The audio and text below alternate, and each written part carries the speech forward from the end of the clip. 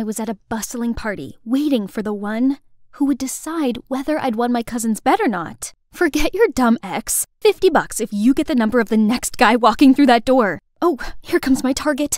I hurriedly approached him, but stumbled and we're kissing. I could feel the taste of grapes on his lips.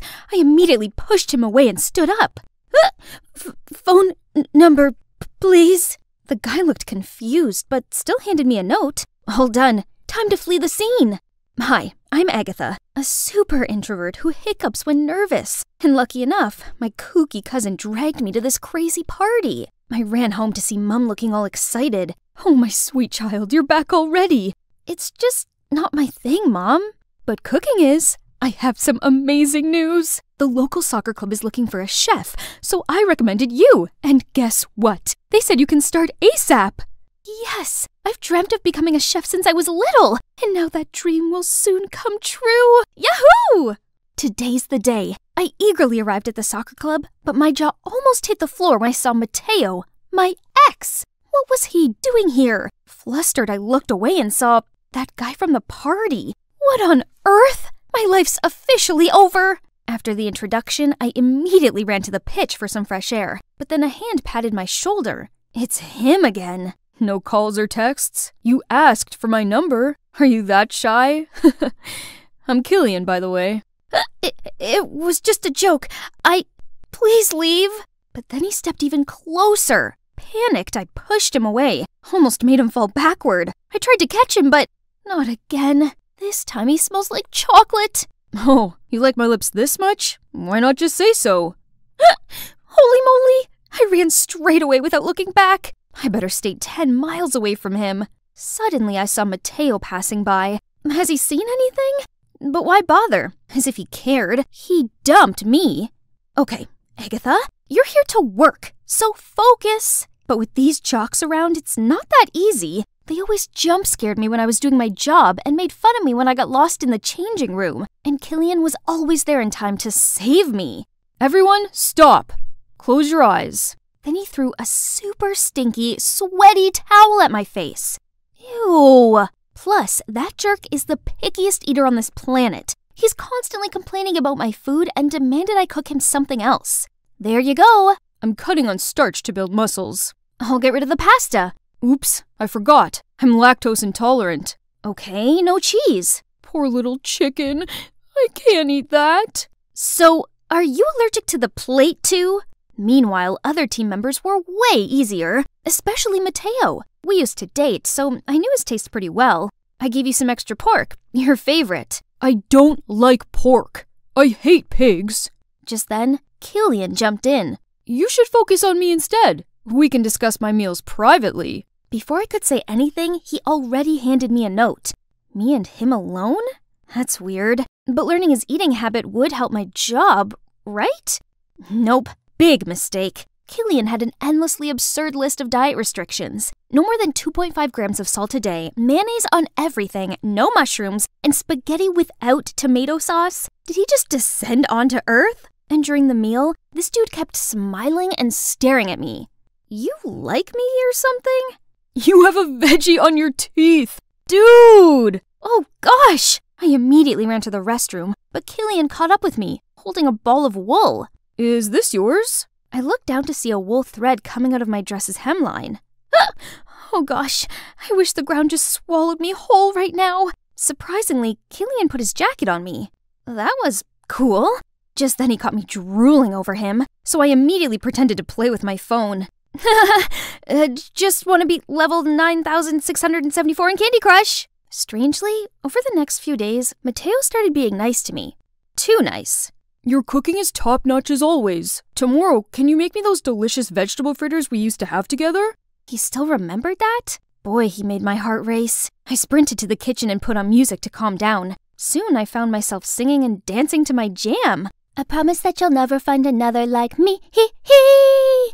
Ooh, ooh, ooh, ooh! Mamma mia! How long had he been there? Flustered, I burnt myself. Killian rushed over and held my hand. You okay? You can't even handle yourself? Then he insisted on finishing my work and even prepared us a dish. Wah, his broad back. Isn't he quite a charmer when he cooks? We talked a lot, and turns out we share a ton of things in common. Beneath his teasing, he's actually gentle, caring, and a good listener. I suddenly realized that I had stopped hiccuping since ages. One afternoon, while giving out water, I saw Killian. Oh wow, it's like the sunshine drew a halo around him and his exquisite face. Wait a minute, why was I smiling? Suddenly, a fancy looking girl came over. Killian, why didn't you reply to my messages? You left me hanging all night. Look, I have dark circles now. That's on you. I went to leave, but out of nowhere, Mateo pulled me into a corner. Why were you so close to him? He's only messing with me. Huh? What do you mean? He competes with me in everything. I was cold to you to protect you. Now that he knows you're important to me, he'll harm you to hurt me. I think he's just trying to be nice. His dad is our club's biggest sponsor. You really think he wants to hang out with people like us while Sloan, whose family owns the largest hospital in the state, is here? I don't know what to believe anymore. However, I had to admit they looked like a perfect couple. While holding a coffee tray one time, I clumsily bumped into Sloan. Are you blind? Why do they let a doofus work here? Come on, Sloan, you bumped into her. He sure seemed sweet to me. Maybe Mateo had misunderstood him. Then once, I spotted the two of them in a quarrel where Killian even pushed Mateo. I tried to intervene, but they brushed me off. What was going on between them? A few days later, I returned from the grocery store to see the head coach in a fit of rage. Explain to me how Mateo is hospitalized for eating your food. What? Why? Stop it! You're fired! My head spun in a million circles. I hadn't done anything wrong. I was packing my things when Sloan appeared. Well, well, well. Looks like little Miss Muffet met her match. Only need some simple tricks to get rid of you and your phony, needy act. Stop dreaming about Killian. You're not at our level. Wait, our? Who's with you? But Sloan just smirked and strutted away. That's when the memory of Killian and Mateo fighting struck my mind. So, Killian must have conspired with Sloan to harm Mateo and ruin my career in the process?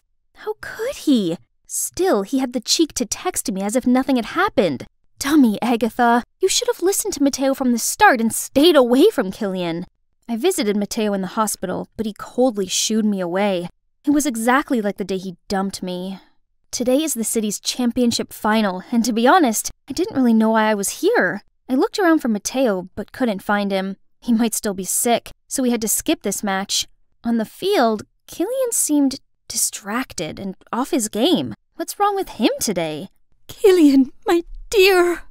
The lady sitting next to me looked nervous and kept fidgeting. I spoke to her and figured out she was Killian's mom. She told me the shocking news. His little sister was missing. He was blackmailed into making their team lose or he'd never see his sister again. Killian faced the goal, but he didn't kick. Instead, he passed to another player who then scored the goal. The spectators cheered in triumph, while other players celebrated the goal with Killian. Blood seemed to have drained from his face. As predicted, the threats kept coming. I couldn't just sit and pray, so I asked Killian's mom for more clues. She played me the recording of her daughter. I strained my ears to listen and heard a noise. Peekaboo! Peekaboo! I know that sound. It's Mateo's parrot. Ma'am, I know who's behind this. It's Mateo. What? I can excuse fake food poisoning, but how dare he harm my Killian? Ugh, say it again, Sloan. He asked me to fake the medical paper, and I figured it would also kick you out, so I agreed. But what about Killian's sister? That was nothing to do with me, I swear. We rushed to Mateo's house. It took him forever to open the door. Mateo, are you okay now? I I have thought a lot about us and realized how important you are to me. And I don't want to lose you again. Mateo, could you? Oh, please, look at yourself. I just dated you for fun. You truly think I like you? and no more pork for me, please. Do you seriously think I'd want you back after the despicable things you did to me and Killian? Killian? Props to that freak for coming at me for telling the truth. So pathetic of him to go for my leftovers. It's you, dummy. Then he blurted out how he cooked up this entire scheme to ruin Killian's career out of the jealousy which was triggered when he visited him in the hospital and told him not to worry about missing the match as they've had a new strategy to cover his absence and the team would perform well anyway. I'm not a pawn that can easily be kicked out. You wish. You are Pathetic. Right then, Sloan appeared with the little girl. Let's go. There's no time. Where are you going, Agatha? Admit it. You're still smitten with me. Sorry, the old Agatha can't come to the phone right now. Why? Oh, 'cause she's dead. After that, we rushed to the stadium. There, I shouted out Killian's name and raised his sister's hands. He seemed surprised to see us, then nodded and smiled. Afterwards, he played like a pro and led his team to victory. He was even awarded Player of the Match. It's an honor to receive this title, and I want to shout out to someone important. Without her, this wouldn't have happened. Agatha, thank you so much. Countless cameras turned to me. Then he rushed over to drag me to a corner where I told him everything. I know Mateo's a jerk, but I didn't expect him to be that bad. But no worries. Let's see how he likes being permanently banned from the soccer club. Agatha, I, um, want to tell you that I found something just as important as soccer. You. He then grabbed my face and pressed his lips against mine. Finally, we had a legit kiss, and it was magical.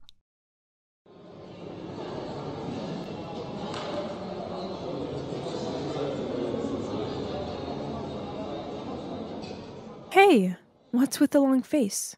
Oh, hey, it, it's nothing, just a bad day. You know, you can tell me everything, right? I'm your best friend, so I know when something is up with you. Spit it out. Okay, you're right, as always. I think you should hang on to something, because this is shocking news. I. Oh my god, who is that? He looks so gorgeous. Sue, are you even listening? Huh? What did you just say? I turned to him, but he mumbled out typical, then walked away. Geez, what's his problem? Oh, that was Lucas earlier, my best friend since kindergarten. Don't mind him, he's always like this. But whatever, let's get back to this handsome guy. So it turns out his name is Alex, and he's new here. I knew it, because such a pretty boy like him would never go unnoticed by me. The next morning, I couldn't wait to walk to school with Lucas. I had some amazing news to tell him. It happened to me the night before, during my shift at the diner. Lucas, you won't believe who was in the diner yesterday. Robert Downey Jr.? What? No, it was Alex, the new student. Gosh, Lucas, you've got to help me get his attention. You're on the baseball team together, right? Huh? Do you like that guy? Seriously? Duh. I mean, look at him. He's like Timothée Chalamet's twin brother. So will you help me? Please? Ugh, fine. Hmm. I did hear him say he likes girls on roller skates. I have an idea. The next time he comes to the diner, serve him on skates. It's a sure way to impress him. Oh, yes, that's a great idea. I hugged Lucas to thank him. So, the next time Alex came into the diner, I took out my roller skates and was ready to serve him his spaghetti. I'm kinda a novice on skates, so I slowly slid over to him. So far, so good, until I didn't see that somebody had spilled their milkshake all over the floor. And yes, of course, I slipped. Oh no! I quickly covered my head to avoid the spaghetti plate, but huh? The plate had fallen on the floor, but where was the spaghetti? I looked around. Oh, snap! I found it! It landed on Alex's head. It was so humiliating. But worse still, as hard as I tried, I couldn't get back on my feet. Ugh, stupid skates! I repeatedly apologized to him. At first, Alex looked totally shocked. Then, perhaps because of my pathetic look, he couldn't hold it in anymore and burst out laughing. well, at least you dared to slide on them. I, on the other hand, am not a big fan of those. what? What did he mean by that? Ugh, Lucas! The next day, I went looking for Lucas to confront him. He was easy to find, as he was in his favorite place to browse in town, the sneaker store. Why did you tell me Alex likes roller skates? Because he definitely doesn't. Maybe I misheard him. Oh, wait, he likes girls in superhero costumes. That's right. What? That sounds ridiculous. Forget it. I'm not listening to you anymore. Go give your advice to some other poor girl, not me. What's up with Lucas? Why would he give me such bad advice? It's like he wanted me to fail. But why? Oh my goodness. Was he, maybe, into me? Nah, nonsense. Still, I had a feeling about it. So I decided to avoid Lucas as much as possible. I came up with loads of excuses not to hang out with him, such as mom was driving me to school and I was skipping lunch because I was on a diet. Ugh, it was so exhausting. I mean, have you ever tried sneakily eating your lunch in class so you don't pass out from hunger? However, this was necessary, as we both needed some space. It's the only way to keep our friendship safe. But then one day, Lucas messaged me Can we talk after school? I have something important to tell you. Oh no. Was he going to confess his feelings? But if he did it, our friendship would be ruined. I couldn't let that happen, so I didn't meet him. Instead, I ran straight home. He called me a bunch of times, but I ignored them all. I ghosted him, to be exact. Jeez, I wasn't proud, but I had to save our friendship from stupid Cupid. But then the next time I saw him, he only gave me a hurt look, then purposely walked off in the other direction. Oh no.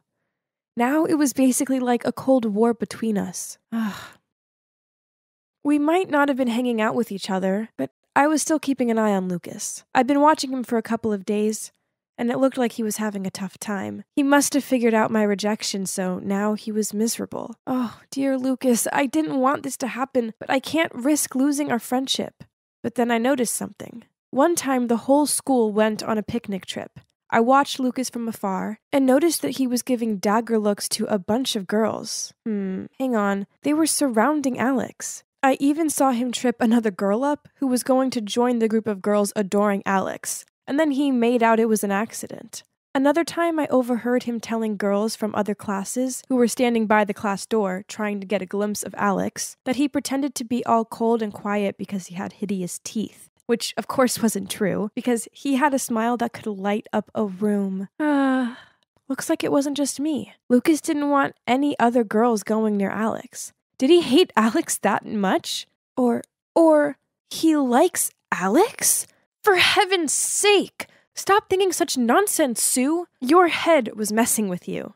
Then one day, my mom heard that Lucas's mom was sick, so she made some chicken soup and told me to bring it over to his mom. I didn't want to go around there. I mean, what if I saw Lucas? Awkward. But who was I to deny a sick lady's soup? When I arrived, I opened the door and let myself in as I usually do. And that's when I heard the conversation between Lucas and his mom. Lucas, you need to forget about Alex. I want to, but I can't, Mom. He's always on my mind. Anyway, the important thing is your health. You need to eat something. Look at you, you're not getting any better. How can I eat after your dad left us? It's like all this time I've been living in a lie.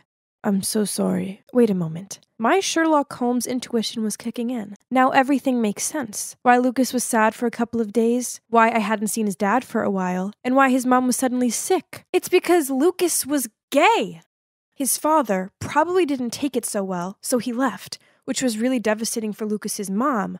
But I'm his best friend. Why didn't he tell me? Man, he hid it really well. But not only that, he also tried to sabotage me when he knew I had a crush on Alex. Well, it turns out we weren't best friends like I thought. Ugh.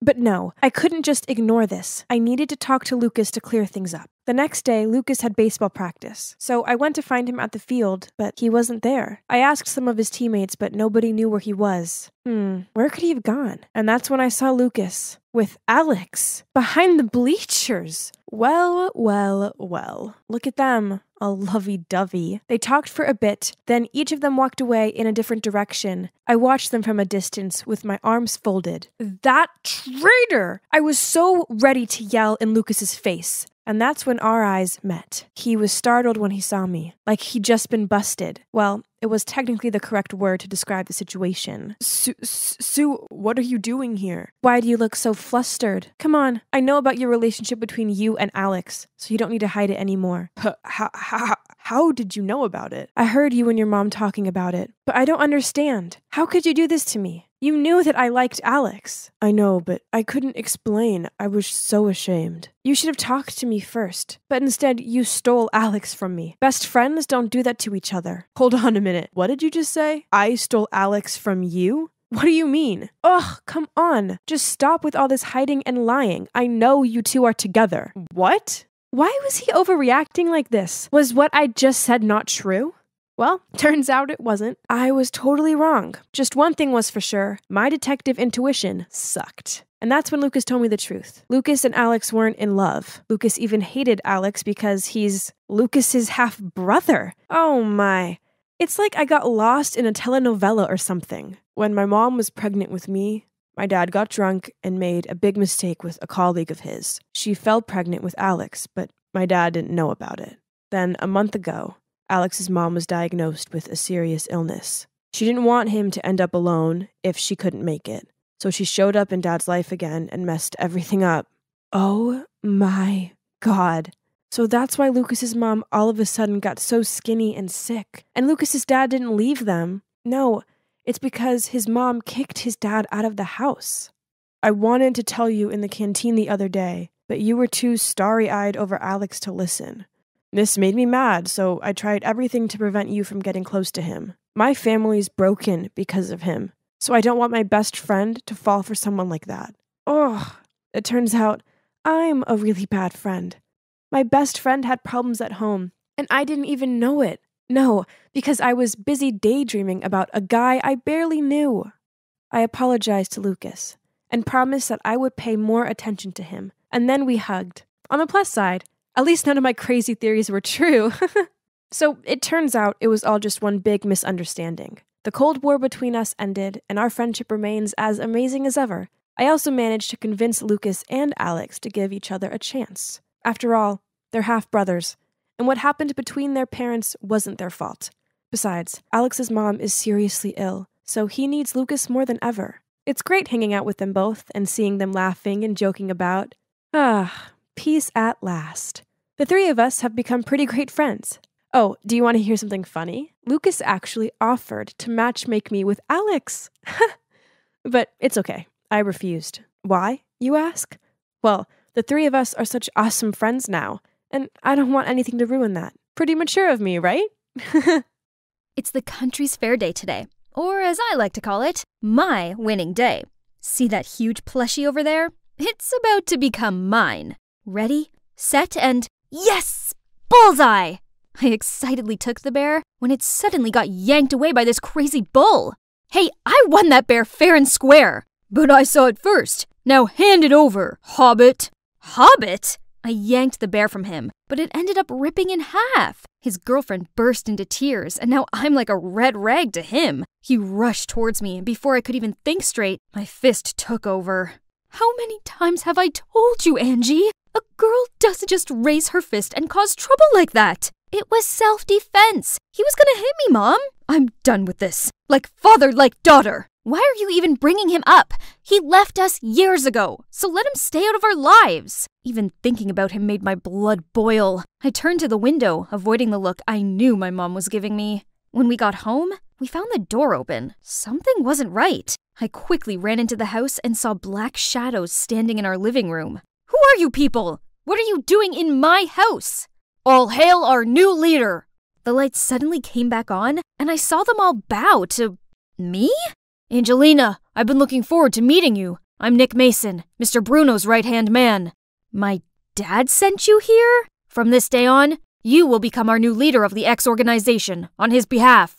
You gotta be kidding me! For so many years, he hasn't cared about whether we live or die, and now he suddenly wants me to take over?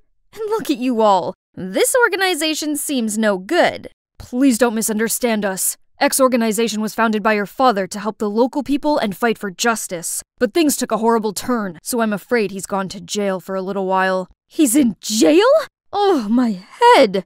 Fighting for justice? That's why he's in jail now? Your father put the safety of the seaport local first. In doing so, he fell into the enemy's trap. You will understand him better if you accept his wish and become our leader. As much as I hate to admit it, I missed my dad. He once promised that he would skip his work and hang out with me on my birthday, but then he just disappeared without a word and has been quiet for the past six years. Until now. Darling, I have something for you. She gave me some old letters and a plushy bear, which I'd begged my dad to buy for me. She'd hid it from me the whole time, as she was mad at my dad for always risking his life for things that weren't any of his business. It turned out that my dad had still cared about me, even without me knowing. Mom, I've made up my mind. I hope you'll support me. So, my mom and I had a long journey to the seaport of the city where my dad's X organization was secretly operating. We walked into the market, then stopped at a large fish shop. How on earth does an organization have their secret base in such a crowded place? The most dangerous place is the safest one. Remember that. I remembered my dad used to say this to me when I was a kid, too. This must be his crazy idea. Nick led me into a room at the back of the store and introduced this as the organization's base. So, this is where my dad used to work, and he'd still kept the same old hat all these years? Let's get to work. There's been a lot of theft going on in town lately. Every night, the thieves break into stores and steal everything they can. People are panicking right now, so we need to solve this as soon as possible. Isn't this the police's responsibility? If they were capable, we wouldn't have to get involved. That's why your father maintains this organization. Now you need to settle in a bit. I've arranged your accommodation and enrolled you in a local school. Remember, your identity is top secret. For the next few days, at 5 a.m. every morning, Uncle Nick got me up and took me to the port to tell me more about the thieves. However, he just joined the fish auction the whole morning instead of actually doing anything serious. So I went somewhere else and pretended to talk to the fishmongers about the burglaries in town. At that moment, a guy in a cap that covered his face bumped into me. Hey, dude, nice bracelet, but ever taught to apologize? Hey, hey, take it easy. You're making a scene. Okay. Maybe I should just behave like a normal schoolgirl here. Having to get up so early in the morning to go to the port also made me too exhausted to study anything. One morning I was falling asleep at my usual place when some noise woke me up. A group of gangsters was teasing a boy?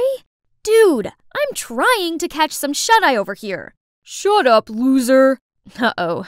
They were messing with the wrong person. I grabbed a nearby mop and made some fancy moves that took them all down, then dragged the flabbergasted nerd out of there. He wasn't calm enough to run for his life. This little guy is Killian. Ever since that day, he kept following me and wouldn't shut up about how strong I was, saying things like, I could never imagine a small person like you having such crazy strength. Or, they all pick on me, but you, Angel, don't. Then, let's be friends. I have no peace when he's around. While I was trying to make some space for myself, a call suddenly came from Uncle Nick. One of the jewelry shops in the city just got burglarized. Can you help? What? Yeah, I'll head back to headquarters and set up a plan. You can count on me. I then hung up, and that's when I heard a ball hitting the floor. I turned around, and there was Killian, standing behind me, shocked to the core. He'd obviously heard the whole conversation. If you utter a word of this to anyone, you'll not wake to see another day. Do you hear me? I. I can help you. I know this town like the back of my hand. Okay, we can be friends, or associates, as long as you keep quiet. After school, Killian and I rushed to the crime scene. While wandering around, I spotted a shiny thing among the broken glass. It must have been from those thieves. But wait, I've seen this D symbol somewhere. I was about to pick it up when Killian grabbed my hand, shivering. Bro, it's her who attacked us back then. That gangster suddenly came at me. I tried to dodge him, but ended up toppling over backwards. Suddenly, a strong arm held me back and shielded me from the punch. Mamma mia! Who's this handsome hunk? I wrapped my arms around him and pulled out my inner damsel in distress. Oh, my hero! These jerks won't leave me alone! Please save me! I'm scared! Mess with my friend one more time and you're dead meat. Get lost! He turned to me, making sure I was okay, then parted way. Through Killian, I found out his name is Frank, a senior at our school, and he's known for his cold and reserved demeanor. Definitely my type of guy. Wait, what about the bracelet? I returned to the broken glass window. The bracelet was nowhere to be found. At school, all students were constantly talking about these recent burglaries. Everyone was worried about who would be the next victim. When will all this nonsense stop? I wonder who their next target will be. Don't you see? The recent victims were all the big shots in town, and the crimes were all on the days the police weren't out patrolling. So then, Graham's jewelry shop and Holden's boutique store could potentially be their next target? That makes sense. Uh, wait, Frank? Now that you're here, I feel so much safer. It'll probably be Holden's because Graham already added a new security system to his shop. Please stop fiddling with your hair like that. Good observation. The police don't patrol the port tonight, so they might make a move. So stay still inside, will you, sweetie? Aww. But his sweetie still gotta watch Holden's shop and catch the thieves red handed tonight. An hour had already passed, but nothing had happened. Right at that moment, Nick received a phone call that Graham's shop had just been robbed. The thieves broke the security system and everything had been taken. Nick snapped at me for acting impulsively without having any clear evidence. But this felt so sketchy, though. Holden's store was way more vulnerable. It's like they knew we were waiting to ambush them here. A few days later, while I was patrolling around the shopping street, Killian informed me that there was a suspicious masked man sneaking around the pearl shop. I immediately dashed there, right at the moment he was breaking the lock. In the blink of an eye, I kicked him, knocking him to the ground. Angelina! Holy crickets, are you okay? I looked up to see Frank running towards me. The thief immediately rose up, causing me to fall back, then fled the scene right away. Catch the thief, quick! Frank and Killian darted past me and followed the guy. I waited for them at the harbor, but only Killian came back. Sorry, Angelina, but I have to say this. There's something fishy about Frank. I think he's on the thief's side.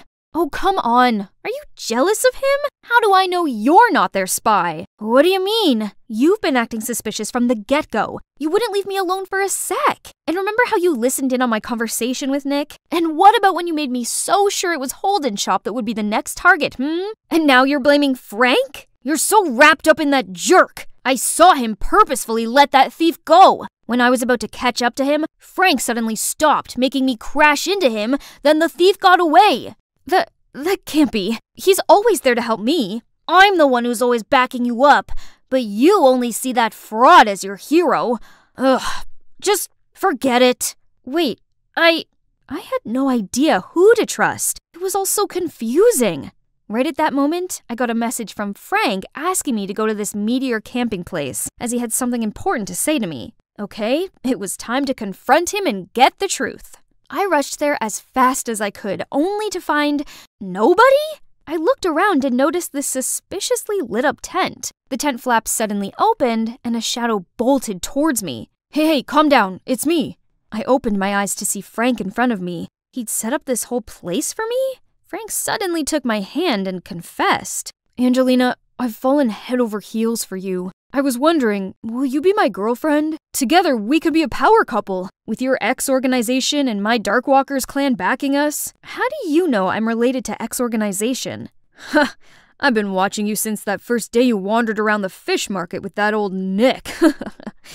Remember this bracelet? You almost got me that time. You, you shameless, rotten, stinking skunk! I even trusted you over Killian! Oh, come on. It's not my fault you fell for me and betrayed your best friend. You and I are more alike than you think. It's only fitting that we become a team. Enough! Listen carefully. I'm never going to team up with a dirtbag like you. H- how did you. Guys, take her! From the tents, Frank's minions came out one by one and surrounded me, then gradually tightened the siege. Let's see who's the boss now. Oh, no, no, no, I fell into his trap. Those punks held a rope ready to tie me up, but right at that moment, I heard a car engine approaching. Is that Killian leading Nick and the X organization? He jumped out of the car, ran past the minions and Frank to get to me. Angelina, are you all right? You're not hurt anywhere, are you? I shook my head and felt so touched. He'd come to save me. I thought you were mad at me. I was, a little bit, but I couldn't let you do all this alone, so I went to Uncle Nick. Behind Killian, Uncle Nick and the team had seized all the thieves and their ringleader Frank. Now they'd spill all their dirty secrets in front of the law. It turns out, my dad was about to expose the Darkwalker clan for their evil antics when they framed him for intentionally causing injury and put him behind bars. Since I became the new leader of X, Frank had been trying to seduce me so he could manipulate the organization. Finally, though, my dad was found innocent and released. Mom and I welcomed him home with open arms. I'm so sorry for leaving you behind. I was afraid I would put you in danger. It's all right, Dad. You must have had a hard time too. I'm sorry for taking so long to realize how proud I am of you. I missed you so much. Dad was super impressed with what we had accomplished for the organization. He even decided to let me continue to be the leader, all the while supporting me and teaching me his tricks. And I know for sure everything will turn out okay, especially with this guy by my side. So, did I do a good job proving myself, Lady Boss? The vice leader position seems to suit me well, don't you think? Hmm, you do deserve a promotion. How does vice leader and boyfriend sound? Hey, I'm Sage, but you can call me Witch. That's what all the townspeople call me anyway. My folks run a funeral home called Black Rose, and some superstitious people consider this a bad omen. By some, I mean the entire town. Everything about us is spooky and weird. Want to see our house? It kinda has that monster house vibe and looks like a fort in the middle of this dollhouse neighborhood. I did try making friends with the other kids, but it never worked out. Ah! Don't eat the cookies! They're poisoned! Despite all that, Mom and Dad found their work meaningful and put a lot of effort into it. Well, maybe a little too much? I guess the reason why they're so emotional is because they know what it feels like to lose someone dear to them. My little sister Leah's missing, and it's all my fault. We'd searched for her everywhere for five years but still, no news. It was a terrible time for my family, but instead of showing us support, the neighbors spread absurd rumors about Leah's disappearance. Some said the devil took her, while others said we sacrificed her during a satanic ritual. These heartless people were never going to change their minds about us, so I decided to just go along with it. This is why no one dares to bother me, as they don't want to be cursed. Ouch! Oh, sorry, miss.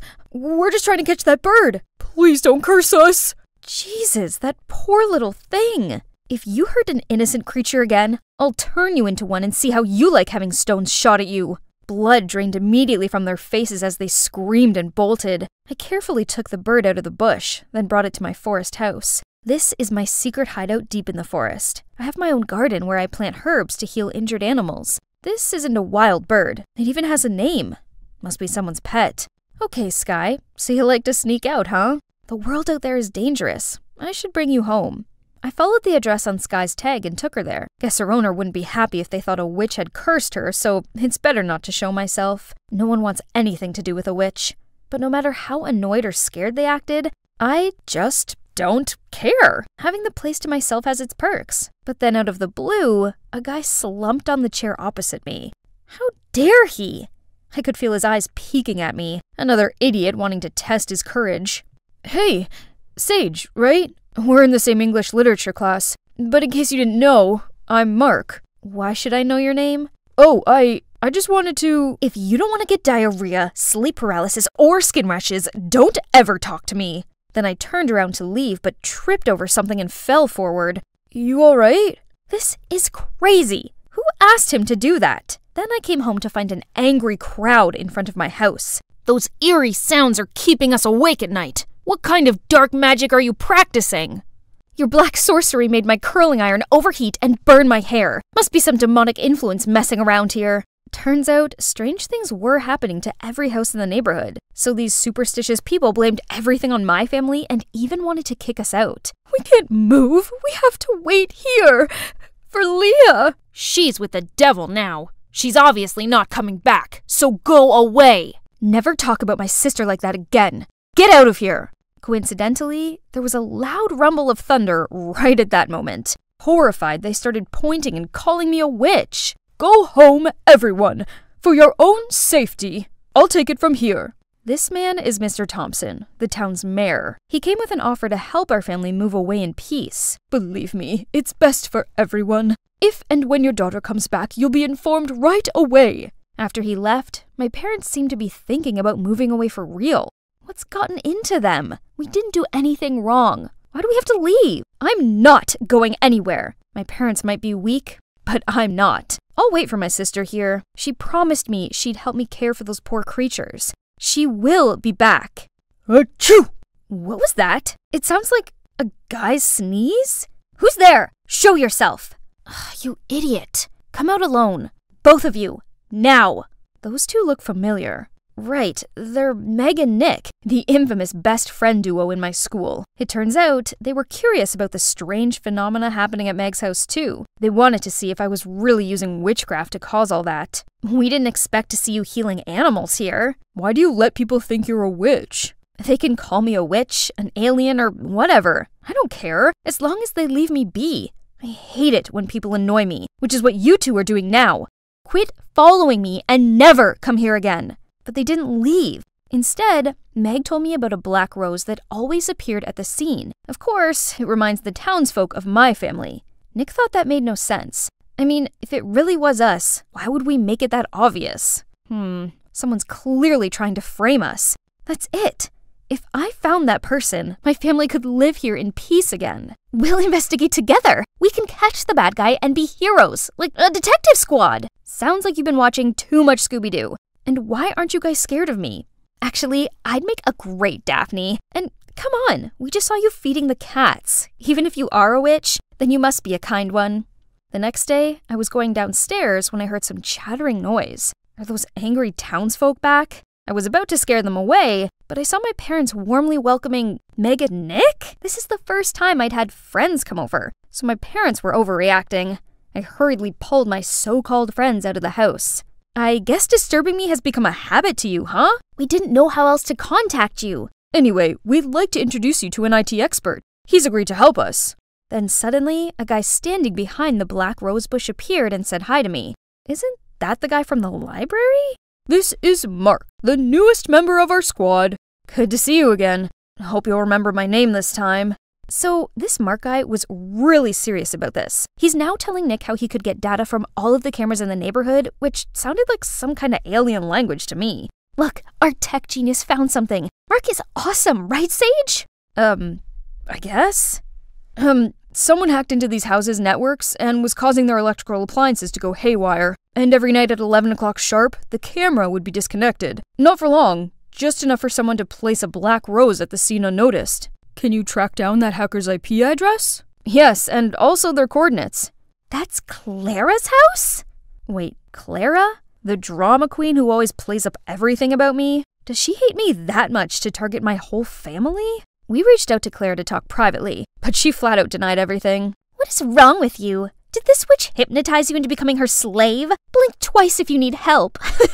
we have proof. You can't get away with this. Are you threatening me? This is illegal. I will tell my father about this. You think you're a big deal just because your father is the mayor? Big enough for you to watch out? She's the mayor's daughter? What's with that smug attitude? Everyone in this school remembers how she embarrassed herself last year after Mark rejected her. You may not know this, but Mark is the most popular guy among the girls in our school.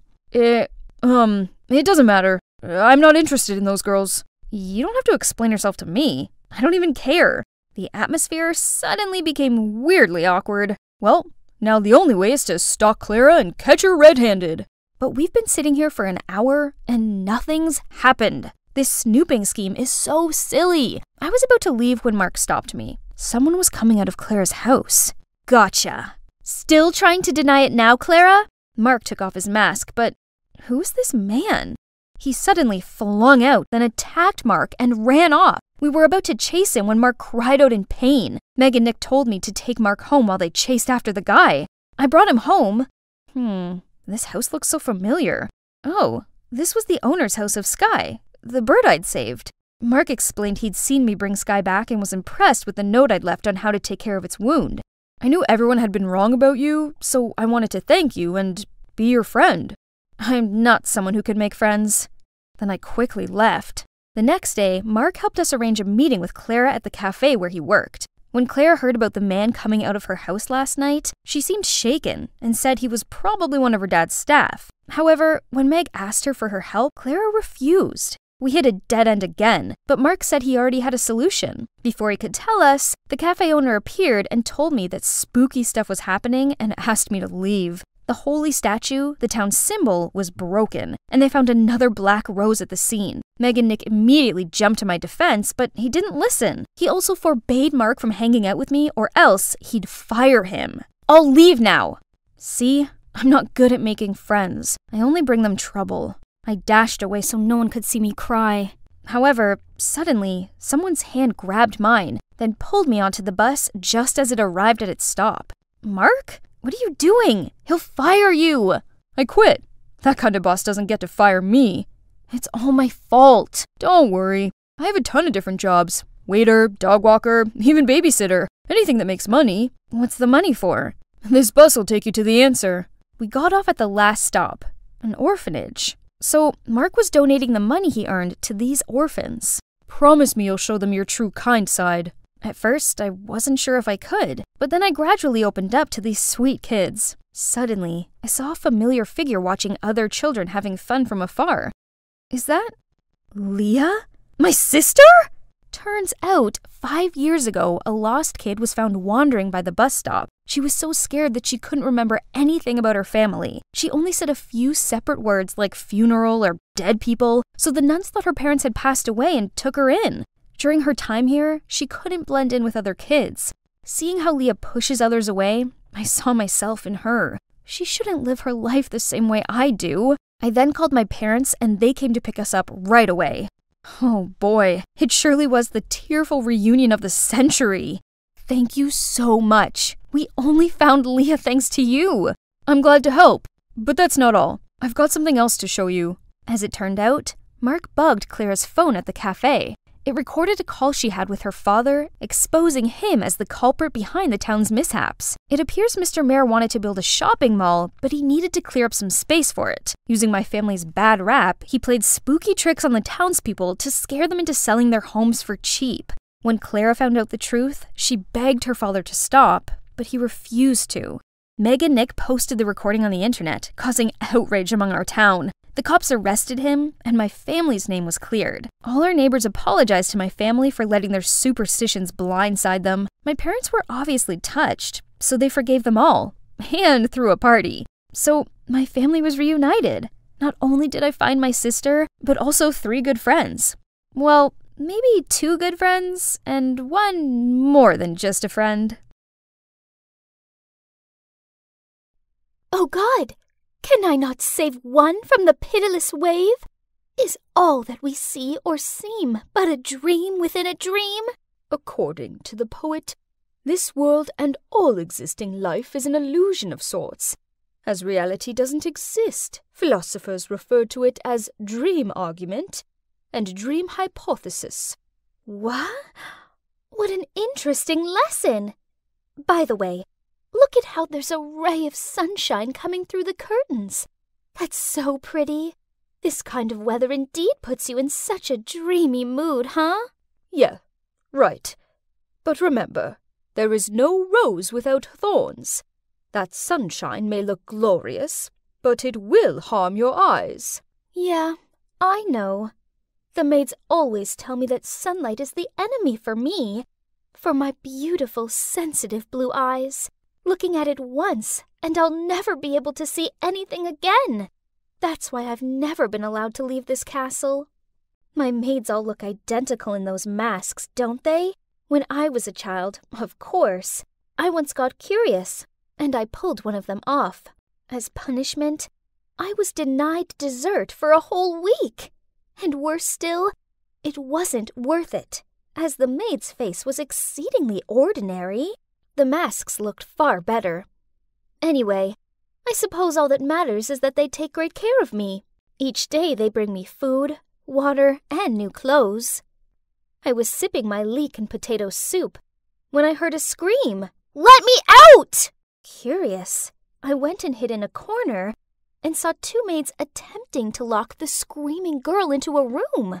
Hmm, I've never seen that girl in this castle before. I wonder if she's from the outside world. Poor her. It looks like she can't control herself. The world out there is scary. Perhaps it has sent her into madness. It's much safer here in the castle. I can play all day, paint, knit, and read. Oh, how peaceful. Hmm. But I still couldn't stop thinking about that poor girl. I wonder what will happen to her. The screaming didn't stop and my curiosity got the best of me, so I snuck into the girl's room. Shh! Stop screaming! No one is listening. Uh, who are you? Uh, um, my name is Mistress. What's yours? Mistress isn't a name. Are you stupid? It's just a name. Everybody here calls me that. This girl was so stubborn. She seemed to be wary of everything. Poor little outside world girl. After much persistence, she told me that her name was Nora. I was about to ask her why she was here, when suddenly two maids appeared and dragged me away. Mistress, you should not interact with this wicked girl, and you mustn't be late for your embroidery class. it was nice to finally get to talk to a girl my own age, and I must admit that given her brash nature, I found Nora rather interesting. During class, I kept thinking about how I could sneak out and see her again. Ah! Ouch! That annoying girl's screaming made me prick my finger. I ran out to check on her, but the maids immediately blocked my way. Perhaps I could talk some sense into her. Trust me, the last time I spoke to her, she was acting totally normal. The desperate maids exchanged looks, then let me go to her. As predicted, when I approached Nora, she stopped screaming. Hey, it's Ariana. That's my real name. Screaming never works here. Just pretend you're listening to my words, then I'll help you out. The maids were quite surprised when Nora immediately calmed herself down and showed signs of following directions, so they let us be and left. We began to chat, and ever since then, the maids let me see Nora every day. She told me how before her mother died, she gave Nora an address to find her biological father, who she'd never met before. Nora's grandma helped her set up a meeting with him and took her to the meeting point. She was so nervous, but happy at the same time to finally meet her dad. And at first, he was as kind and charming as she imagined. But then unexpectedly, right after they said goodbye to her grandma, he brought Nora here and let those masked people lock her up. But you're fortunate to be here, as it's safe. No, it's not. That's just what they want you to believe. Then Nora told me about the outside world, about her friends, school, and shopping malls. Every day, she even drew me paintings of the outside world, of beautiful memories with her family, her mom who passed away, and also her dad, even though she only met him once. Family? What is that?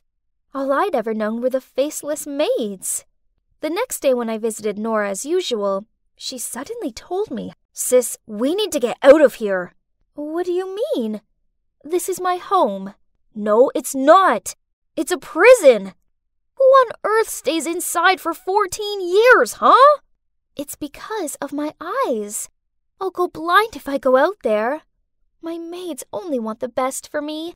That's why they keep me here. Are you crazy? You've been tricked. Just think about it. Do you know who gave birth to you? And why did that person leave you with these people? Or are these people the ones who took you away from your mom? Don't you want to find out the truth? This was my home, wasn't it? But thinking about what Nora just said, as well as the outside world that she rambled about every day, I suppose it would be interesting to experience it for myself. I'd just have to try my best to protect my eyes. So, I snuck into the housekeeper's room and stole the front door key. As we approached the main hall leading to the door, we saw a masked woman standing by a man. In his arms was a young girl, deep asleep. Huh? Th- that's my dad. What? Did he come to pick you up or something? Don't you see that they're all in the same boat? And she's the ringleader. I peered closer at them and spotted the masked woman's silver hair and luxurious dress. Isn't that my tester?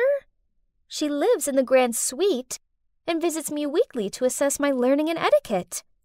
Mom, how are you going to handle this case? Just leave her in the empty room at the end of the hallway. As for Nora, I think she'll settle in properly in a week or so.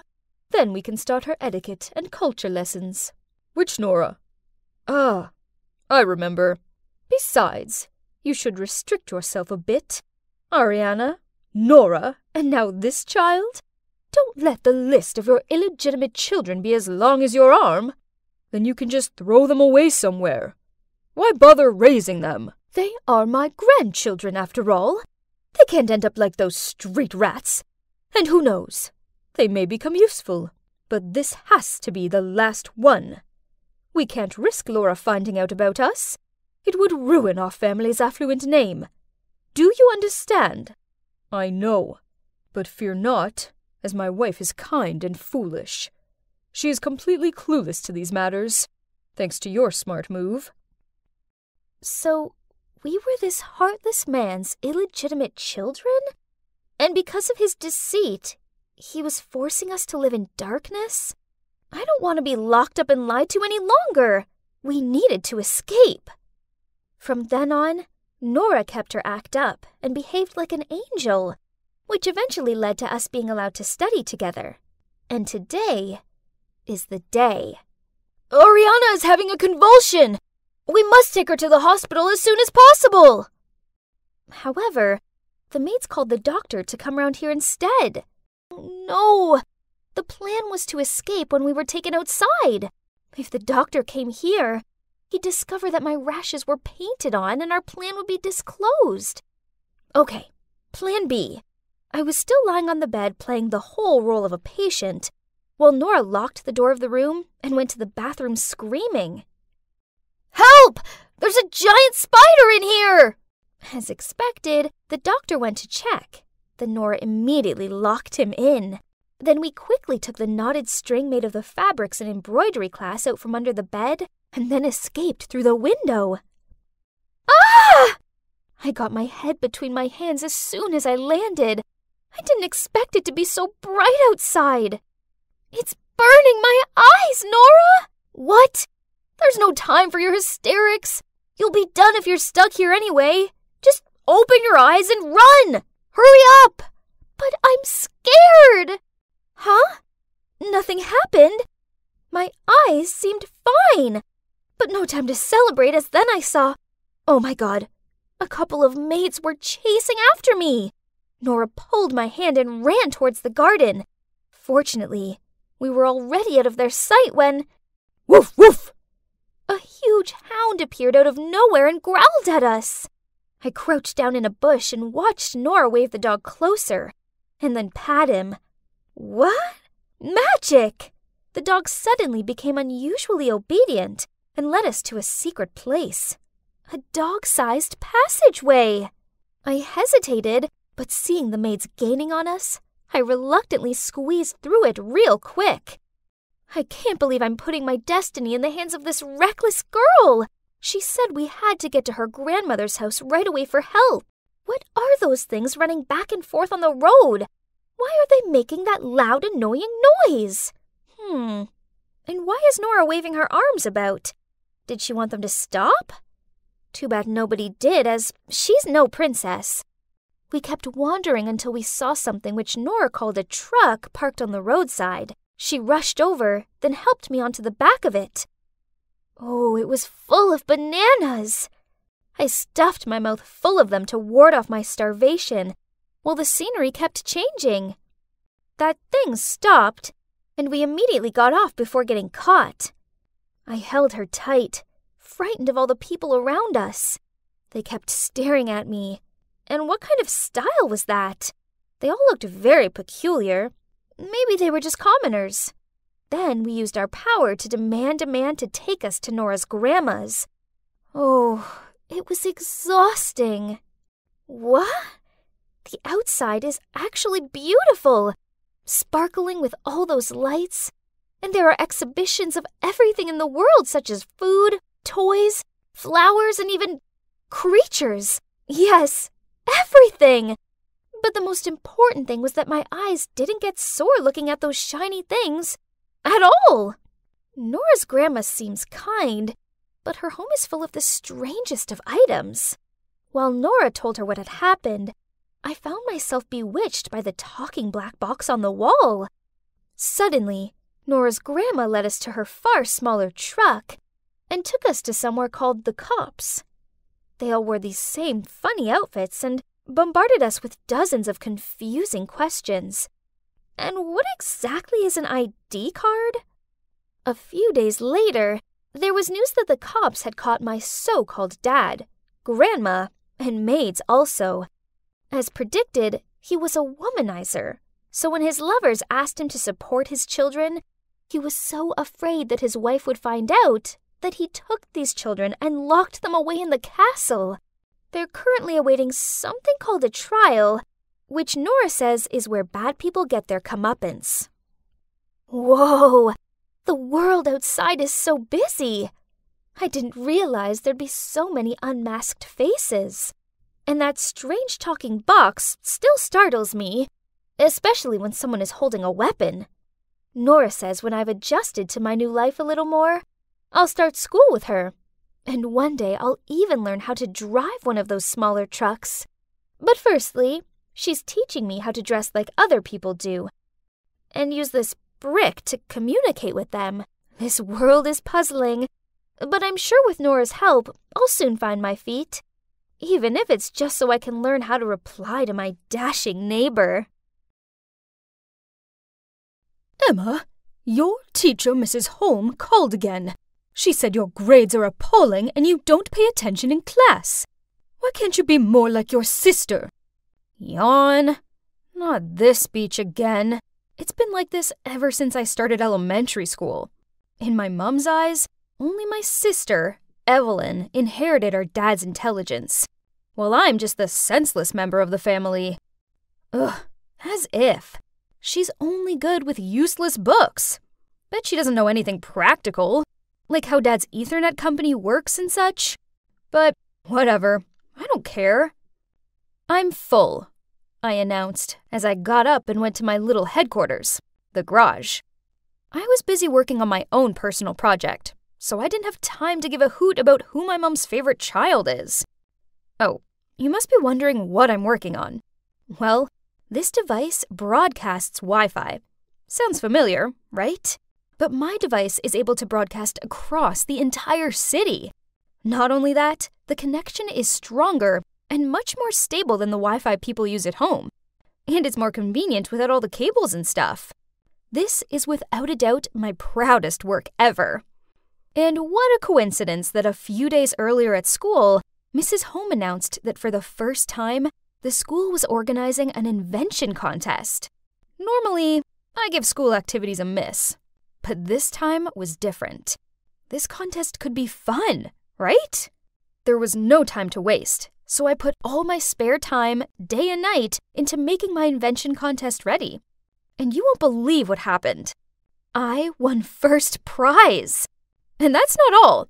One of the judges, Mr. Johnson, was so interested in my invention that he offered to invest in it. At first, I was kind of scared and hesitated to agree because, I mean, I was still in high school. But this was an opportunity of a lifetime, so how could I deny it, right? So after that, Mr. Johnson sorted out a manufacturing company and office space for me downtown. This is cool, but I prefer to work in my garage. It's just more convenient that way, with me still being at school and all. I upgraded my device and launched it to the public. And you know what? It was a huge success. Pretty much everybody in the city got rid of their old, laggy Wi Fi devices and accessed mine. Then one day, I got a call from the local news channel asking to interview me and my family at home. Oh my god, yes! Oh, there's just one snag. I hadn't told my family about it yet because, um, I don't know. Maybe I just know there's no way they'd believe me? Like the time I got an A in my physics exam, and my mom instantly asked if I cheated. But, well, whatever. This is much bigger than that. So I quickly ran downstairs to the living room and excitedly told my family that the invention benefiting the town was mine. But Mum and Evelyn burst out laughing. So you're telling me that this Wi Fi, which is broadcasting across the entire city, is your invention? Yeah, Mum, it's mine. Then Mum and Evelyn laughed even louder. Honey, it's bad enough you're failing at school. Please don't start lying. Ugh, Forget about it. Why did I even try? Then, the morning after, when the doorbell rang, my mom opened it and saw a reporter and a cameraman. She couldn't believe her eyes. Mum and Evelyn exchanged panicked looks, then rushed upstairs to prepare. It was so hilarious. the hysterics continued as they interviewed my parents. I watched my nervous, sweaty dad stand there like an awkward statue, while Mom began bragging about me like, as soon as Emma was born, I knew she was a genius like her dad. I always encourage her to pursue her dreams. Jeez, and the Oscar goes to my mom. I didn't know she could act that well. To be honest, since I could remember, Mom never said anything nice about me. Ever. But now that she knew I was the mastermind behind the town's Wi Fi, she would probably treat me differently. Right? Wrong. Then one night I came downstairs for a glass of milk and overheard Mom and Dad talking in the living room. Emma is such a selfish child. How badly will this affect your business? The truth is, the company's going through tough times. But don't worry, we're trying everything we can. Huh? Did I do something? And what's wrong with Dad's company? I tried to eavesdrop more, but suddenly I heard my dad standing up from the couch, so I quickly ran upstairs to my room. The next day, Dad forgot to take his lunch with him to work, so Mum asked me to take it over. But when I got to his company floor, it was deserted. Huh? Where was everybody? Did everybody get a day off or something? But that couldn't be it, right? That evening, over dinner, I asked Dad. I went to your office at midday, but not a single person was there. What's going on? Mum suddenly put her cutlery down and gave Dad a shocked look. Is what Emma just said true? Dad lowered his head and sighed out. Yes, it's true. I temporarily shut the company last week. I didn't want you all to worry, so I didn't tell you. I'm sorry. What? How could you? You said you would fix it! That's when it hit me. But I deeply prayed it wasn't the truth. So I asked him, Is it because of my device? Dad didn't answer me. He just glared sadly down at his dinner. But I knew what his silence meant. I was right. Suddenly, Evelyn stood up and screamed in my face. It's all your fault! You invented that stupid device, and now Dad's business is at stake! That's so typical of you. You never think before you act. Then she stomped off upstairs. I just sat there speechless. I just wanted my family to be proud of me, but instead, it seemed like they despised me more than ever. Then Dad turned to me and softly said, Emma, this isn't your fault. I was kind of waiting for my mom to say something, anything at all, but she didn't. She just cleaned up the table. I felt really bad about what happened to Dad. But hey, now I had to work even harder so I could provide for my family, right? After that, Mum completely ghosted me. As for my sister, whenever our paths crossed, she gave me a dagger look and muttered out mean comments like, Let's see how long it takes for your precious business to fail. I tried to ignore her, but then she took it too far. One Sunday, I was in my garage working away when suddenly I heard loud noises coming from outside. I opened the garage door to see a crowd of people holding signs saying, We lost our jobs because of you, and no job, no future. My God, they were protesters. I think they were from my dad's office. Wait a minute. I spotted a familiar face. Evelyn? She was holding a big sign saying, My dad lost his job because of you. Eventually, Dad came out and dispersed the crowd. Then he called an emergency family meeting.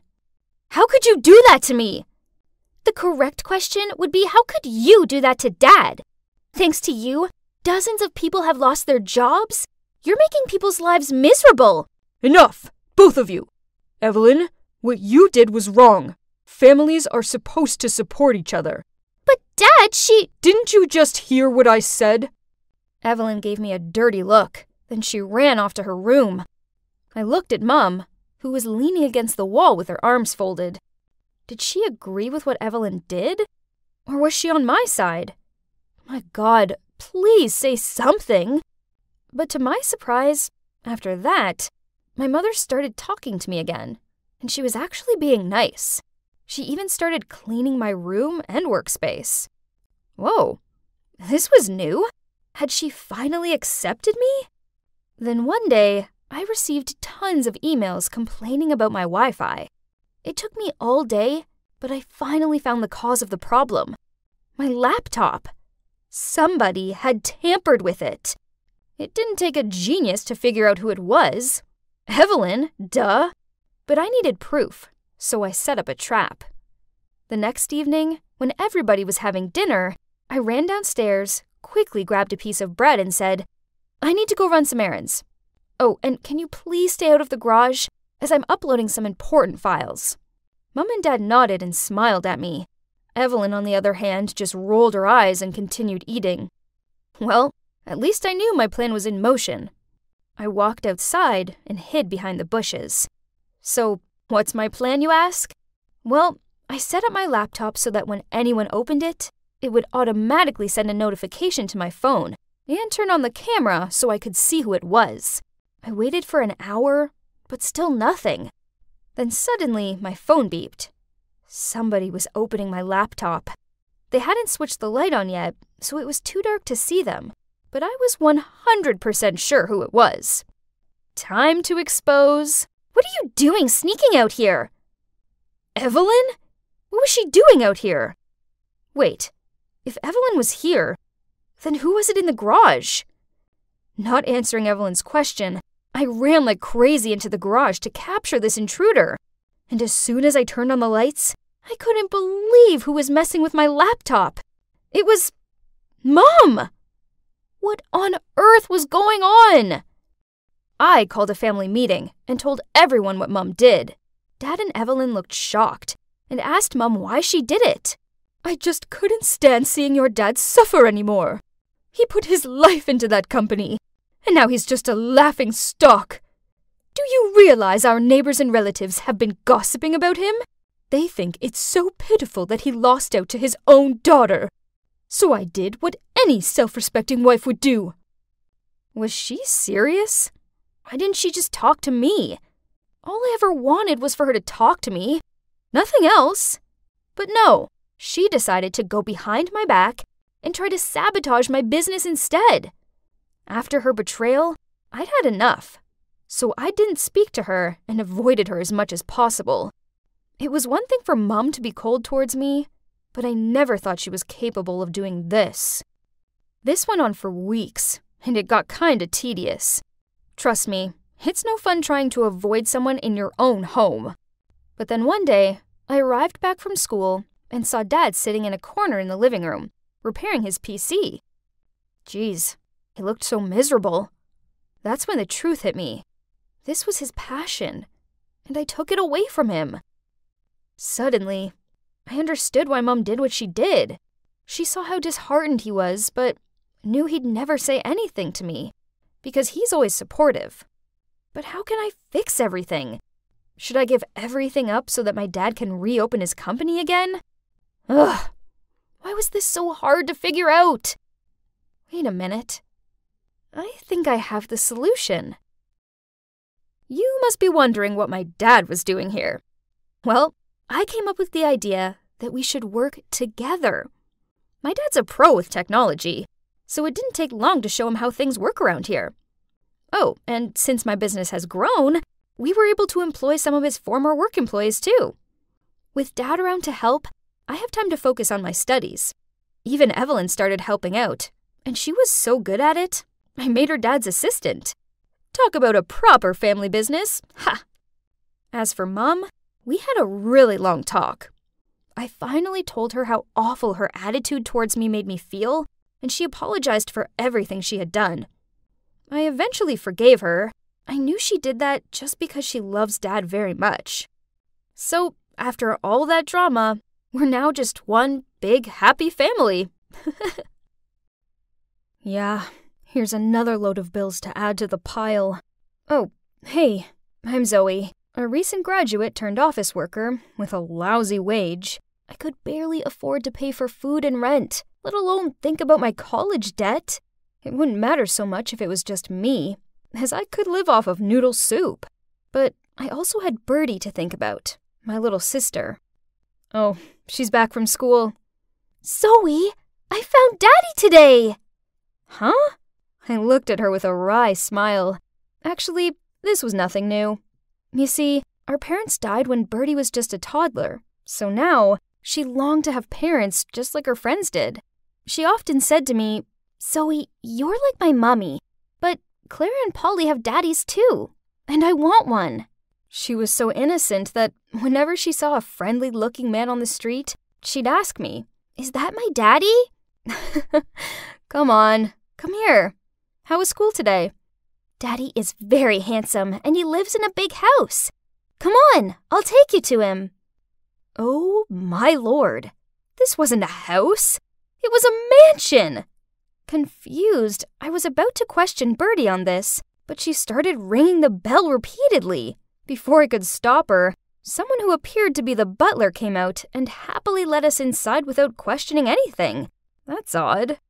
I sipped on my iced tea and peered around at the grandness of the place, absorbing the rich energy, when suddenly a very dashing guy walked over. There he is! That's Daddy! Huh? This was so confusing, and seeing her hug a stranger was super embarrassing. I had a talk with the guy to figure out what happened, and apparently he's called Harry, and he's 22 like me. Huh? That's crazy, as he looks and acts way older.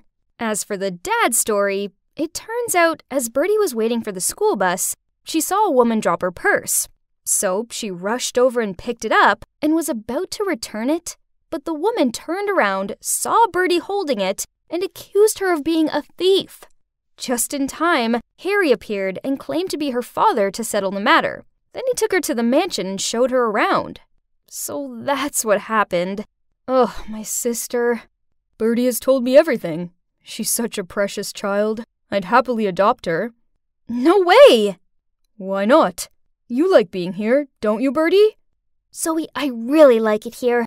I can play with Oreo as much as I want. And now I have a daddy just like Clara and Polly do.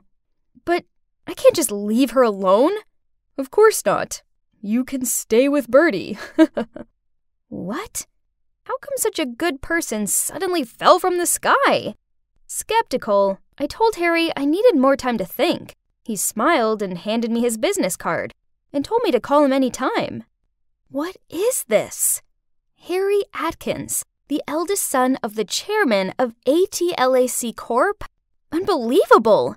His name was all over the internet as a rich and educated young man. If that was the case, then surely this had to be legit, right? I can't afford to pay these. My sister and I deserve better than this life. Besides, it would be nice to have a place to stay for free, right? So the next day, I went to see Harry and offered to help with the housework as payment. Harry agreed and presented a prepared contract. Contract? Okay. But there was a clause in it that required me not to mention that I was Bertie's sister. Hmm, this was a little odd. But never mind, it didn't matter. Here was to our new luxurious life. Wait, but does that mean I also have to call him Dad?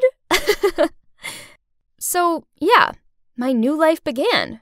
And oh boy, it was crazy. A maid brought me breakfast in bed and did all my laundry. So much for helping out with household chores. There are actually more servants in this house than the number of staff in my office. So it's obvious that there's nothing left for me to do. Even so, I wanted to be useful because hearing them calling me Miss made me feel quite embarrassed. However, oops, turns out I suck at house chores.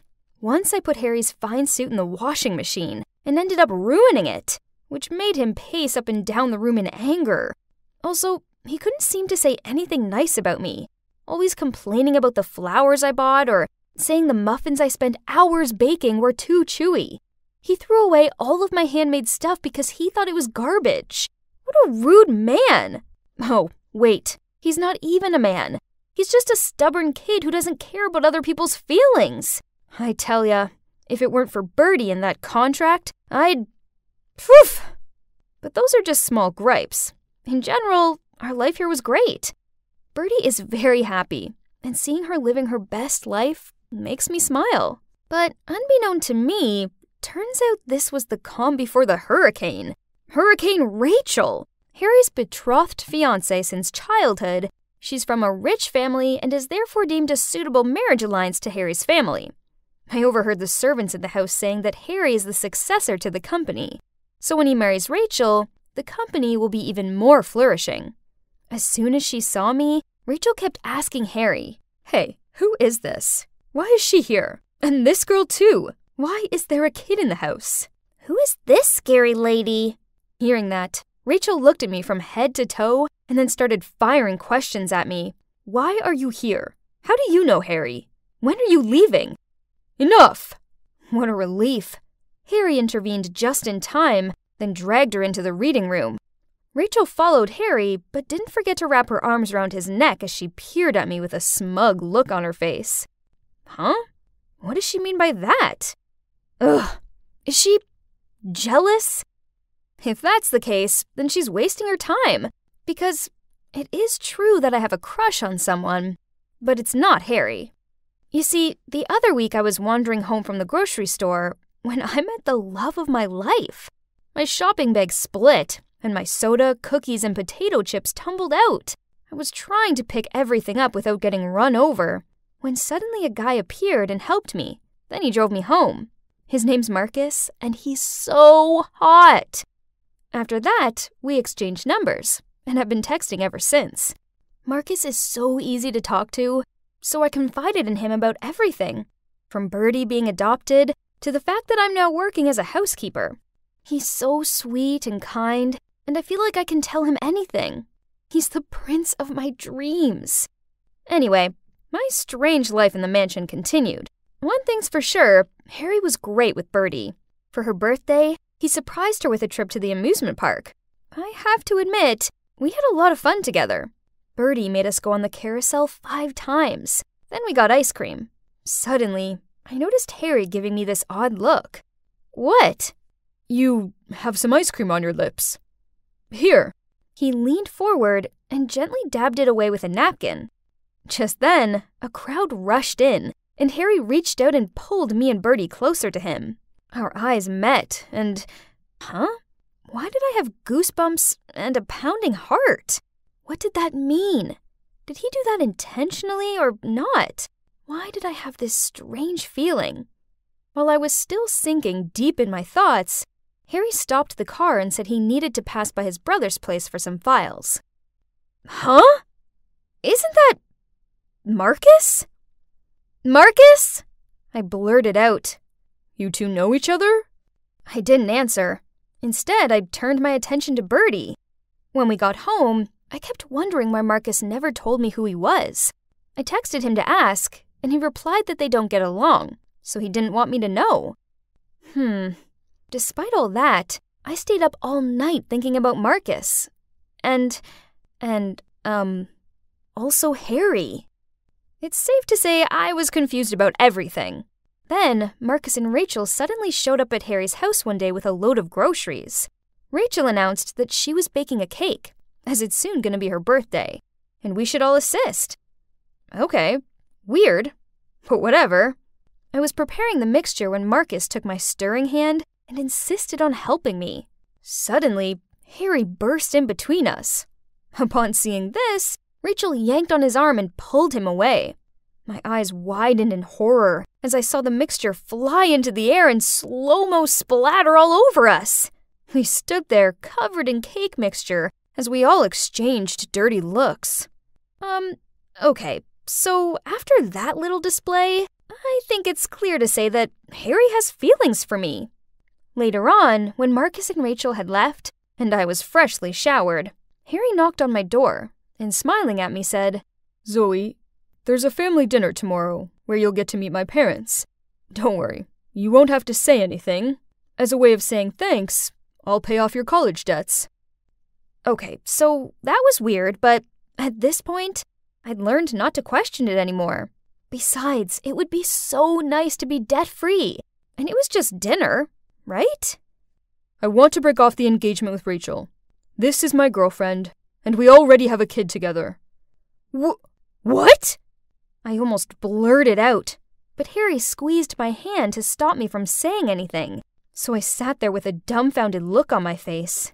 Right at that moment, Marcus and Rachel burst in. Stop the act! Mom, Dad, this isn't his girlfriend, and that little girl is actually her sister. She's just some poor maid. Yes, that's right. I've known all along. I'm the one who told Marcus to pretend to like you to get proof. Wh- what is all this? Mom, Dad, I don't think a liar like him should be the heir of your company. I hope you rethink your decision. I didn't understand. What's going on here? Girlfriend? My child who? The heir of what? I just knew one thing only that I was fooled by both my crush and Harry. I felt like such an idiot. So I quickly grabbed Bertie, packed up all my stuff, then ran out of that mansion immediately. Poor innocent Bertie seemed so confused. She kept asking where her daddy was and why she couldn't stay with him. I took what was left of our savings to rent a small apartment for both of us. Life went back to normal. Final demand letters and all. This was our reality. I knew that now. The last two months were like a dream. It was time to wake up. But still, I felt a pang of sadness whenever I thought about how Harry had fooled me. I was snooping around online and saw an article about how Marcus had taken over the company, only to end up bankrupt due to his poor decision making. As for Harry, well, he'd founded his own startup, and it seemed to be doing pretty well. But then, one sunny day, I was on my way to pick up Bertie from school when a familiar person walked alongside me. Hey, it's a nice day, isn't it? Harry? What do you want? Look, I admit that at first I was just using you to get out of my engagement with Rachel. But then I. I. I want you and Bertie in my life. I love you, Zoe. Please come home with me. Ah. Now, what better way is there to spend a Saturday afternoon than lying on the couch watching a feel good movie with lots of snacks? Ugh. I suppose I better get that. OMG. Who is this? He's the most gorgeous boy I've ever seen in my life. I stared at him in open mouthed amazement, but then I saw him gazing back at me and realized I needed to say something. Hey, how may I help you? Hi, I'm Jaden. My mum and I have just moved in next door. Oh, in that case, welcome to the neighborhood. Jaden smiled as he held a box out to me.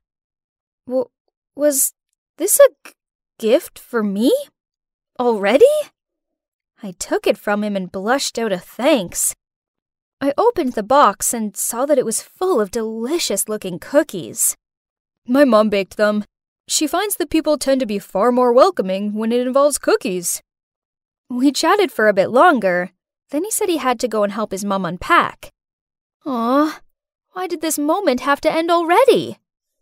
The next day at school, I couldn't wait to find my bestie Stella and tell her about my drop dead gorgeous neighbor. But as it happens, she found me at my locker and immediately started gushing about this hot new boy. Hmm, I needed to see how handsome this guy was. My chance came at lunchtime when Stella pointed over at the new boy who was currently being pestered by Anna, this stuck up girl from class. I squinted my eyes. OMG! The hot new boy was none other than Jaden! I watched on as Anna fluttered her eyelashes at him, then flicked her hair behind her back. Ugh! She needed to give the flirting a break. It was so tragic. Suddenly, Jaden saw me, smiled, then hurried over to me. Hi, Laura. Oh boy, am I glad to see you. He leaned in close to my ear and whispered, That girl is kind of freaking me out. Please, can we get out of here? Then, to my surprise, he took my hand and led me away. I could see the shocked look on Anna's face, and I couldn't help but smirk back at her. Ha! Take that, Anna! He's holding my hand, not yours. Then, after school, Jaden and I walked home together. Turns out, as well as being the hottest guy on the planet, he was also really sweet and funny. Back home, I saw Jaden's mum, Cynthia, watering her window box. On seeing us, she waved us over, then insisted on inviting me inside for homemade lemonade. We all got on so well. Looks like I'm going to have a boyfriend soon, one whose mum loves me. From then onward, Jaden and I hung out lots. We had lunch together, we went to the library together, and always walked home together. I was pretty sure the girls at school were super jealous. especially Anna. One day during PE, the teacher told us we were playing dodgeball and assorted us into two teams. Anna, who was on the opposite side, wouldn't quit aiming at me.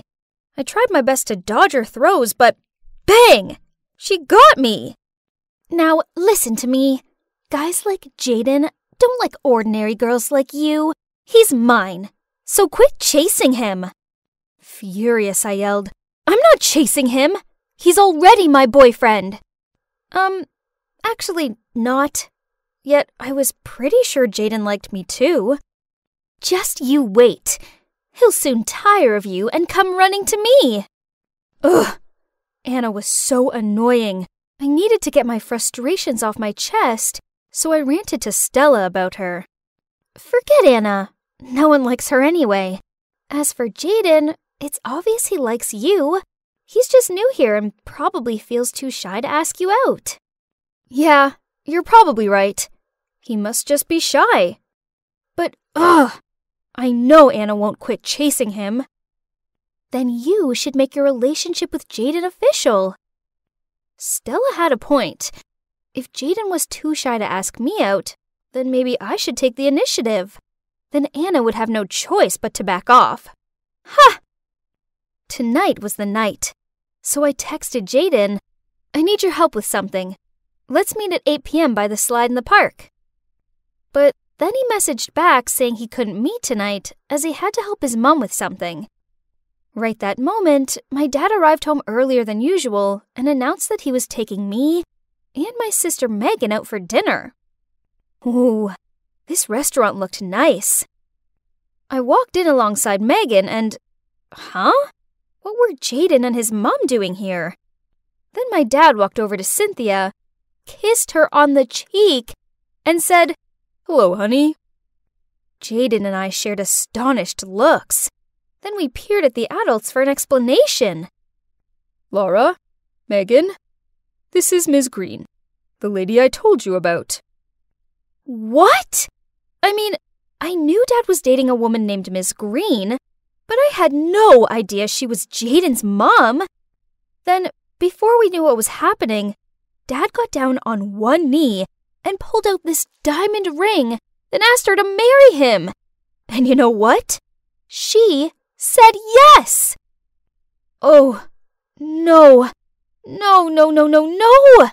They can't marry! Cause then Jaden will be my brother! Megan looked delighted and hugged them both, while I stared at Jaden in bewilderment. Don't get me wrong, I really want my dad to be happy, but why her? And what about me and Jaden? After that, Cynthia seemed to always be at our house, baking cakes, humming while she dusted and cleaned up, and exchanging gooey looks with my dad. Ew. Then one day, she insisted that Megan and I went wedding dress shopping with her. She tried on this one dress, and yeah, okay, she looked pretty good in it. But when she asked me what I thought about it, I just shook my head and said, Well, it's not very flattering, is it? She tried on several more dresses, but I managed to find fault with them all. Then, when I noticed how disheartened she looked, I patted her shoulder and said, Don't worry, Cynthia. You can always postpone the wedding until you find a suitable dress. She looked a bit taken aback, but then she just smiled at me and said, That's okay, Laura. I'm going to go with the first one. Ugh. Anyway, now the dress was chosen, so at least I could go home now, right? Wrong. As on the way home, we passed an arcade. Cynthia led us there and then excitedly challenged me to a game of air hockey. Then I said jokingly, Fine, I'll play, but if you lose, you don't deserve to be my mother. And guess what? She won! Ugh! And worse still, Megan wouldn't quit giving me dirty looks for the comments I'd made. Jeez, I was just joking.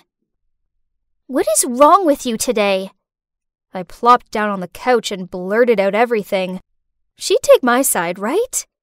Um, turns out, no, she wouldn't. What? You and Jaden aren't even official. But Dad loves Cynthia. They both deserve happiness. so stop being a brat about it. Then she stormed off to her room. Ugh, I feel like I'm going crazy. I have huge feelings towards Jaden, and I know he feels the same. So why can't my sister be mature enough to understand that and support me? I needed to vent to someone. Luckily for me, I had Stella. Why does no one care about my feelings? I can't be Jaden's sister. Um, sorry, Lara. I don't know what to say. Suddenly, from the nearby table came a lousy voice. So that's the reason why Jaden has to hang out with you? You're pathetic, Lara. Turns out we were so lost in conversation, we didn't notice Anna and her flock sitting at the table behind us. Actually, we've been into each other for ages. It's not our fault our parents made some dumb decision. Anyway, whether we can be together or not, it doesn't change the fact that you bore him so much that he'd choose watching paint dry over being with you. How dare you! She was about to grab my hair, but right at that moment, a hand stopped her. It was Jaden. That afternoon, on our walk home, I finally came clean to Jaden. I like you a lot. I have always been since I first met you.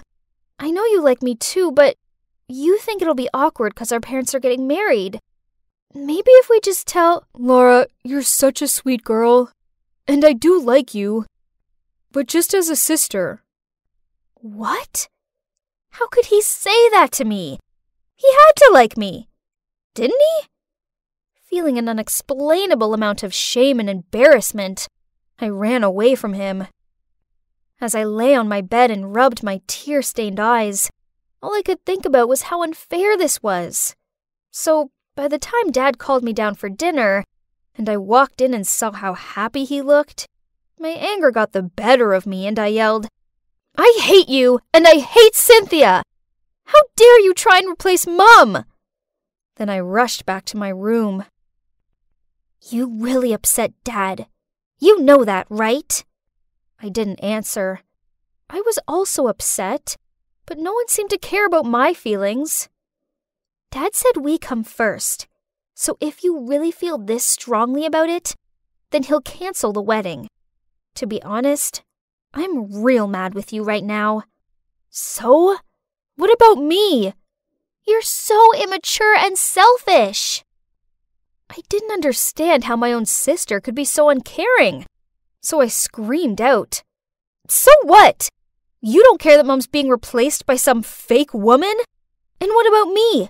Why does no one care how I feel? Oh my god, Laura, for once, this isn't about you! Megan rolled her eyes at me, then stormed off. Finally, everyone quit going on about the stupid wedding. But why didn't I feel good about this? Cynthia didn't seem to be coming round to our house anymore, and I noticed how Dad's cooking seemed to get worse and worse, until he stopped altogether and just ordered takeout. Meanwhile, Jaden wasn't anywhere to be seen at school. Stella asked around to find out where he was, and turns out he'd left, as he was moving back to his old town. No way! After school, I rushed straight over to his house and barged inside to find him and his mum packing. Are you moving away? Yeah. I moved here to settle down and start a new life with Randall, and this house is for Jaden's future. But the wedding's been cancelled, so. I quickly asked Jaden if we could talk outside. My mom's cried so much.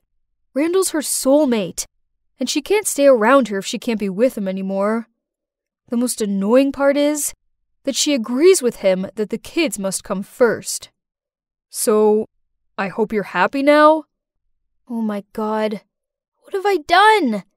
His words were like a stab to my gut. Oh no, this was all my fault.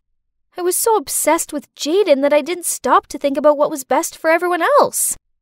Without saying another word, I ran back home and burst into the kitchen where Dad was drearily staring into his iced coffee. Dad, you deserve to be happy with Cynthia. So please go and tell her how you feel before she leaves for good. but it was too late. Cynthia and Jaden had gone. Just kidding! nah, actually, Dad managed to catch Cynthia just in time, and he told her how much he loves her and can't live without her. So, guess what? Yep, they got married, and now they're both happier than ever. I've learned the hard way that being selfish and inconsiderate of other people's feelings for my own gain just makes everyone miserable, including myself. So now we're one big happy family. And I suppose having Jaden as a brother isn't actually so bad after all. My phone beeped with a new message. Emma, I've got something to do nearby, so let's meet there. See ya. It was from Tony, my childhood friend from the orphanage back in Missouri. Yep, that's right. I ended up in an orphanage after my mom passed away when I was only four years old. But things were even worse for Tony and him. They'd been left outside the orphanage door without anyone even knowing who their parents were. And now here I am, on my way to visit his grave, as today's his death anniversary. Time flies. I can hardly believe it's been 10 years already. I picked up some flowers, then drove to the cemetery. Tony was already there waiting for me. I smiled and waved, but my heart felt heavy. Back when we were 14, we'd been joined at the hip Tony, Thomas, and me. I had a secret crush on Thomas, but I never got the chance to tell him. It had all happened so fast on that day. We were just kids, young and dumb, We'd snuck out to go play by the riverbank. One minute we were splashing each other in the river. The next moment, Thomas was being carried away in the current. I tried to save him, but Tony pulled me back to shore. Even thinking about it now, I still couldn't help but burst into tears. Don't cry, Em. I'll always be here for you. And I knew he would be. Deep down, I knew Tony always had feelings for me but I didn't feel the same way. After that, Tony drove me home. Seeing my exhausted look, he said before I went inside, Get a good night's sleep, Em. Remember, we've got that interview tomorrow. Gosh, I almost forgot. Tony probably thought I was the worst employee ever. and yes, you can guess it. Tony is my boss. After years in the orphanage, he was adopted by a super smart family that had inspired him to strive to become someone important, and he'd eventually built a food startup. Anyway, the following morning, despite still feeling worn out, I had no choice but to put on a brave face to go to work, as I had a marketing team to lead. But as I walked into the lobby, a guy bumped into me. He helped me up and frantically apologized, explaining he was in a rush. I looked up and was about to nag him, but wait, why does he look so familiar? In fact, he looked exactly like. It's you! You! I stammered, but I couldn't even finish my sentences because he'd rushed into the lift and the doors had closed. I must have been seeing things. Honestly, throughout the whole interview, I could barely concentrate. Could there be two people looking that similar on this earth? I was lost in thought when the next applicant came in, and it was him. Both Tony and I stared in shock. He was the spitting image of Thomas. But he couldn't be. I mean, Thomas had died years ago. We both were too stunned to say anything until his voice broke the silence. Hi, I'm Dustin, and I'm here to interview for the marketing position. I looked at Tony, and he looked just as confused as I did. But yeah, it wasn't Thomas. This guy was from Illinois and had never even been to Missouri. Okay, so here's Thomas's doppelganger. Fair enough. The interview went well, and even though he was a bit arrogant, he knew what he was doing, so we hired him. When I left the room, surprisingly, Dustin was still waiting for me outside. He offered to treat me to lunch as an apology for earlier. I agreed, as I was desperate to ask him more questions. During lunch, I kept mentioning the orphanage, some of Thomas's hobbies and things he hated, but Dustin didn't even bat an eyelid. I was disappointed because I really hoped Dustin would actually be Thomas. That night, I barely slept. I couldn't stop thinking about Dustin. It's ridiculous, but I still had a strong feeling that he really was my childhood sweetheart. Suddenly, I got a message from Tony. Saw you hanging out with Dustin. Wake up, Em. He's not Thomas. Ugh, I didn't need to hear that. The next day, I couldn't take my eyes off of Dustin. At lunch, I watched as he put honey on his watermelon, and I almost freaked out. That was exactly what Thomas used to do. Oh my. I blurted out. I then told Tony what I just saw as soon as he sat down, but he just laughed and said, Honestly, Em, tons of people do that. Do you really think that our Thomas could be that arrogant? Seeing that I was still unfazed, he continued. But if you still want to check, just give him a peach. Things can change, but allergies don't, right? OMG, Tony was a genius. He probably was just kidding, but I was super serious. So the next day, I bought Dustin a peach pie to welcome him to the team. But to my surprise, he ate it up with pleasure and seemed totally fine. Okay, clearly I needed to let this go. He wasn't Thomas. End of. But if only things were that simple. And even though I knew Dustin wasn't Thomas, I still felt attracted to him. He was smart and sweet, and so much fun to be around. Eventually, we started hanging out and became very close. We didn't actually make anything official, but we were low key dating already. However, it was impossible to hide things from Tony. One time, our company went on a team bonding weekend and we'd arranged a tennis competition. We had to pair up, so obviously I would go with Dustin, but as we're about to go sign up, then Tony came to ask me to be his partner too. My god, it was so awkward. Then Tony said in a very sulky tone, Okay, how about we have a little competition? The winner gets to pair up with Emma. And so they had a swimming race. That's so embarrassing. I knew Dustin couldn't swim, so I started to panic, but he got in the pool anyway. Obviously, Tony won, but who cares? He was acting like a child. I rushed over to help Dustin, who was left coughing and choking on the water. And at that moment, I realized that I was falling for him so much. But since then, there were rumors in the company that Dustin was only flirting with me to get promoted. One morning, we were walking through the lobby together when two girls started whispering about us. So Dustin took my hand and went straight to the girls, saying, I love Emma. What's wrong with that? Hmm, tell me. Go on. At that exact moment, Tony appeared and asked if he could have a word with Dustin in his office. I was so nervous. Now everyone knew we were in some weird triangle, and I didn't like it one bit. Then one of my colleagues overheard Tony telling Dustin that if he didn't leave me alone, he'd be fired. I couldn't believe it. I went to find Tony right away, and before I could even confront him, he said, Yes, it's true. I asked those girls to start the rumors, and I also asked that jerk to give up on you. It was me. I did it all. I just don't get it, Em. Why have I ever been good enough for you? Tony, wait. It's been ten years. Why couldn't you give me a chance? Why can't you let Thomas go? Some guy who looks like him walks up and you totally forget about me? He's a loser compared to Thomas. Don't you dare call him a loser, I said. See? In the end, you still care about him only, not me. Tony shouted, then stormed off. I hated to be in this situation. On the one hand, I truly liked Dustin, but Tony was not only my lifesaver, but also my best friend, who'd stuck by my side through all the highs and lows. What a dilemma! In the end, I decided to have a little space from Dustin, just until things cooled down. Maybe then the rumors would stop and people would quit being so negative about him. But that wasn't to be so. You see, our new product that hadn't even been released yet suddenly appeared on the website of our direct competitor.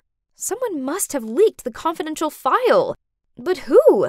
An investigation was opened and all of our computers were checked. You won't believe it, but the IT team had been able to recover a deleted email that had been sent to our rivals from Dustin's outbox. Dustin denied it, and he demanded to check the CCTV. That's how we caught Mike, one of our senior employees, at Dustin's computer sneakily doing something. And to think, he'd put the blame on Dustin. After the truth came out, I went over to Dustin, but he seemed mad as he said, You think I'm a jerk too, don't you? That's why you've been giving me the cold shoulder. I told him I never believed he'd done it. Then I took his hand. I'm so sorry. It's just that I've been through some stuff. Then we hugged. Oh my, I'd missed him so much. But the drama didn't end there. The info leaked had caused our company huge losses. We had thousands of meetings, and the stress was unreal. Feeling so deflated, I went up to the rooftop to get some air. Suddenly, I heard Dustin's voice somewhere. He was on the phone with someone talking about some plan to steal our company's products. No way! Without even thinking, I charged over and snatched his phone away to see that he was talking to. Mike? Oh my god! Had they been accomplices from the beginning? I was so angry, but actually more disappointed. So I asked him to resign and stay away from my sight. I know I should have exposed him to the whole company instead of letting him go that easy, but I guess my heart couldn't bear to do that. I felt so bad, especially towards Tony, the best friend who's always by my side, while I was busy chasing after a jerk. I lost contact with Dustin after that, and I barely had time to think about it because our company was on the brink of bankruptcy. But one day, I got a call from him, followed by a message saying, Please don't ignore me. I've got something important to tell you. So we met up the next day at a coffee shop, and as soon as I saw him, I said, Look, Dustin, I've had enough of your lies. Please just get to the point. Then he replied, Emma, I admit that I only came to work for your company to steal your ideas, but seeing you and Tony after all these years and falling for you all over again, well, that wasn't part of my plan. I was confused. After all these years? What are you talking about? Then he showed me his wrist, and he was wearing a friendship bracelet. Remember this? You gave it to me on my birthday 10 years ago. O.M.G. What was going on? I couldn't believe my eyes. I'd given this to Thomas. But then why? But the peach. I continued. He just laughed and said, I overheard you guys plan, so I made sure to take allergy meds just before. Then he went on to explain that he was Thomas and that he'd been lucky enough to be saved that day on the river. There was a family who were out in the river searching for their drowned son, but instead of finding him, they found Thomas, and so they kindly adopted him and changed his name to their son's, Dustin. This was insane.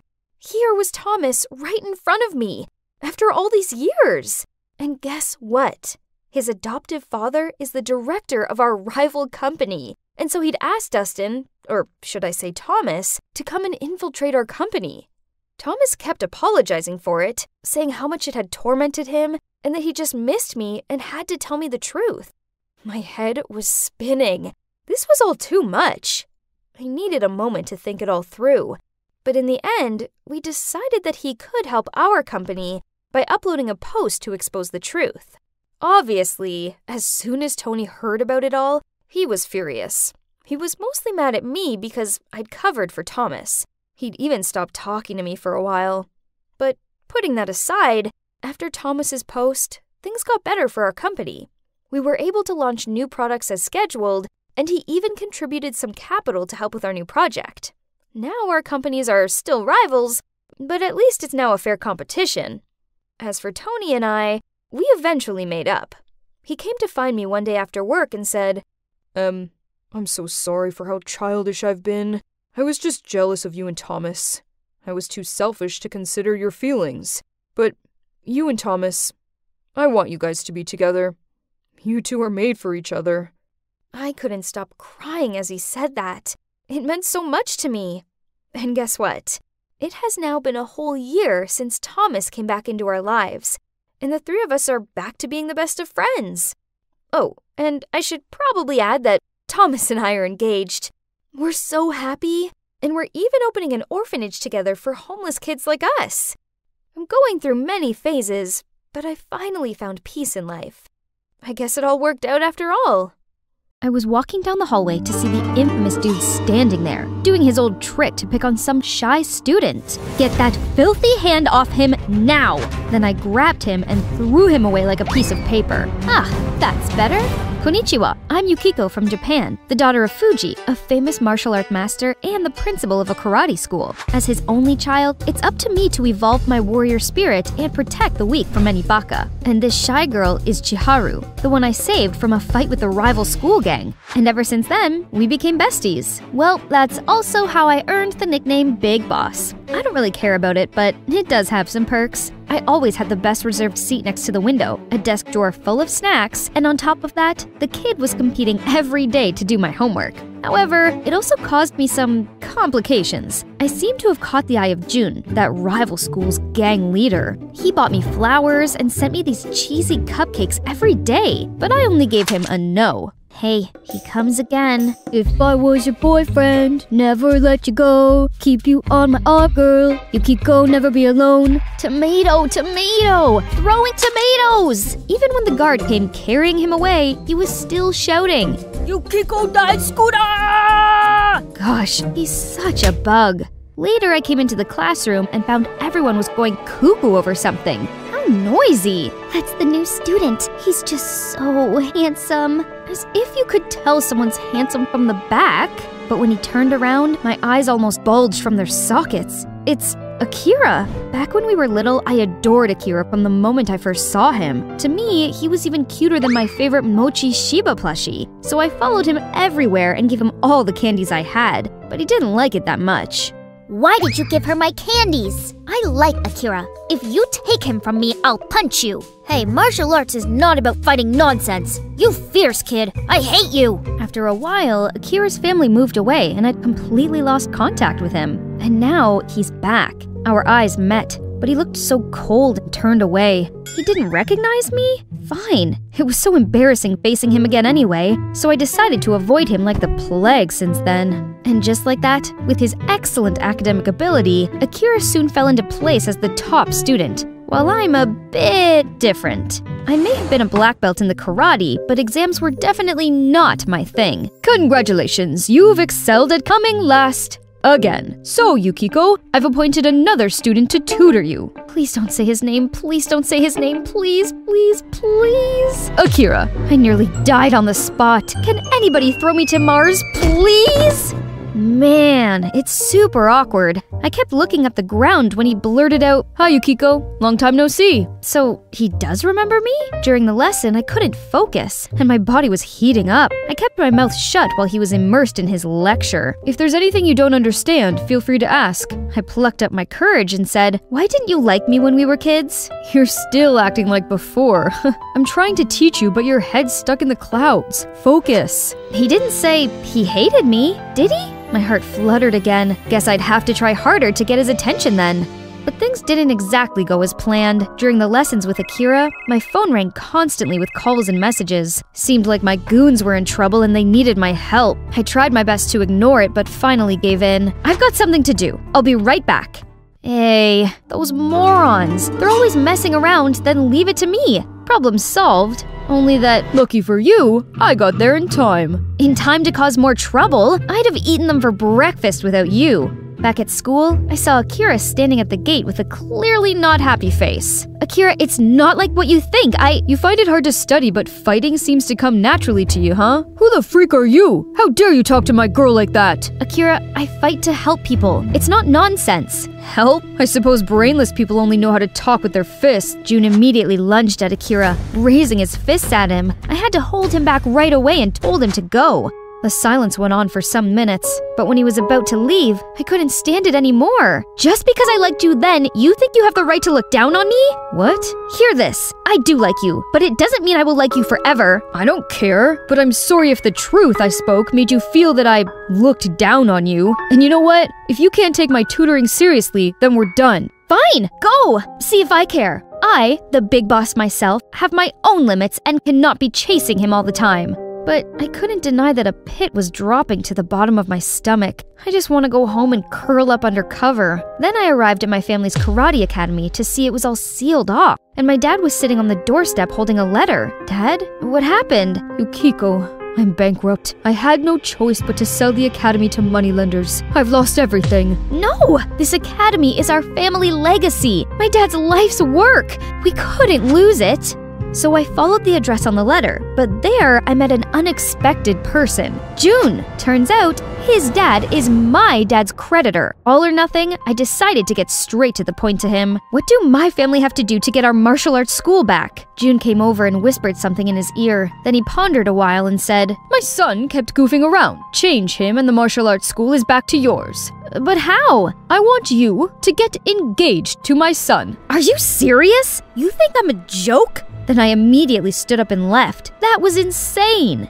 Hey, why are you behaving like that? You're still asking why? It's down to that dude, isn't it? He's just some preppy know it all who doesn't even like you. You. you know nothing. He also likes me, I think. Is that so? Then prove it. Make Akira fall in love with you within two weeks, and I'll convince my father to extend the deadline by three months. Fail, and we get engaged. I'm the one who is always by your side. No way I agree with your stupid deal. Go ahead, refuse. The martial arts school will be permanently closed tomorrow. Wait, I, I, okay, I'm in. Lucky enough, I had Chiharu, the love guru, to help me cook up the perfect Get Akira scheme, though she'd been single like forever. Firstly, I told my gang that Akira'd soon to be my BF, and also their boss, so he deserved a special treat. Wherever he went, other students bowed 90 degrees to greet him. They tended to his every need, carried his bag, and were always at his service. But he seemed not so comfortable about this. Ask your goons to stop their nonsense. Okay, as long as you agree to my conditions. What? Tutor me again. Oh, and have lunch together. And walk to and from school? I I can't. Okay then, guys. Fine. Secondly, you needed to find out what Akira like, but he'll refuse to answer my questions for sure. My fake council survey will answer that. Then she handed out the paper to the whole class. My goofy Chiharu did get it done this time. Okay, according to a philosopher, the way to a man's heart is through his stomach. Akira's most favorite food is beef, so I rummaged through all the local supermarkets to find A5 Wagyu beef and prepared this perfect meal for him. Akira, eat this. Oh, thank you, Cream Puff. How come you know I like beef? How did you get in here? I know you miss me, so I come to visit. Before I could say anything, Akira shook his head and walked off. Okay, the first step is always the hardest. Next, seeing that Akira liked horror movies, I lied to him that Chiharu stood me up, so I had an extra ticket. It's insidious. How could he refuse? But as soon as we sat down, a familiar face caught my attention. Jun?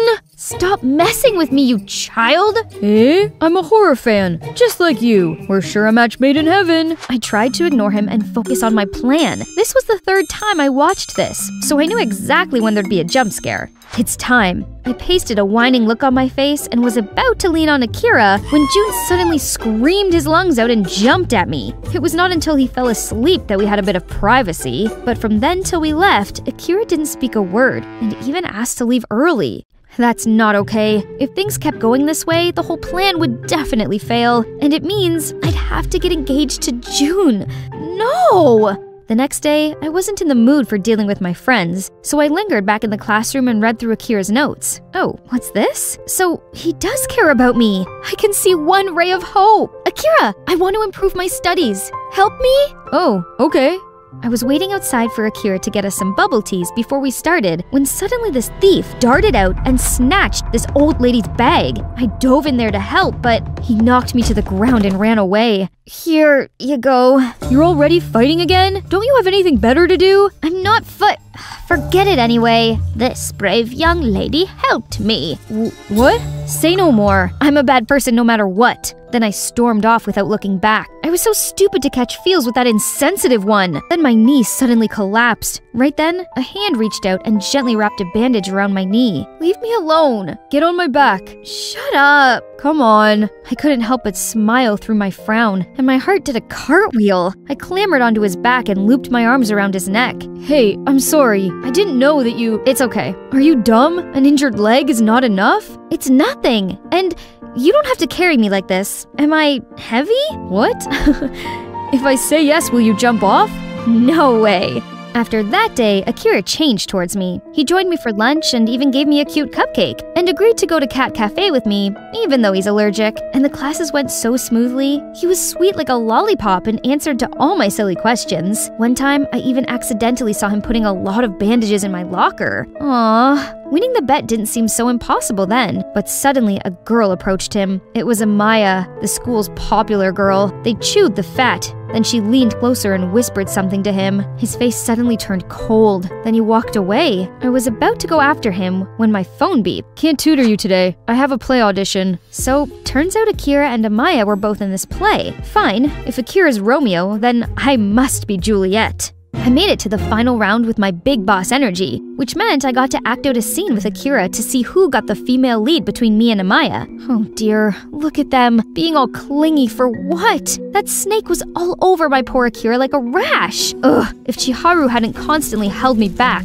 I'd have jumped there and given her a piece of my mind. And now it's time for me to shine. But why is Akira's face darkened? It's okay, maybe he's trying to be professional? My bounty is as boundless as the sea. My love, my love as adoring as as a puppy dog's nose. Um, yes. So I may have forgotten the words, but it wasn't that bad.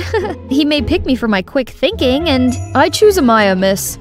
Hey, why did you pick her? You shouldn't ask me. Ask yourself instead. Then he left with Amaya without glancing at me. But today's the end of the two week deadline. I thought you'd have some feelings for me too. It was pouring rain. I trudged home, all collapsed, tears and rain falling down all over my face.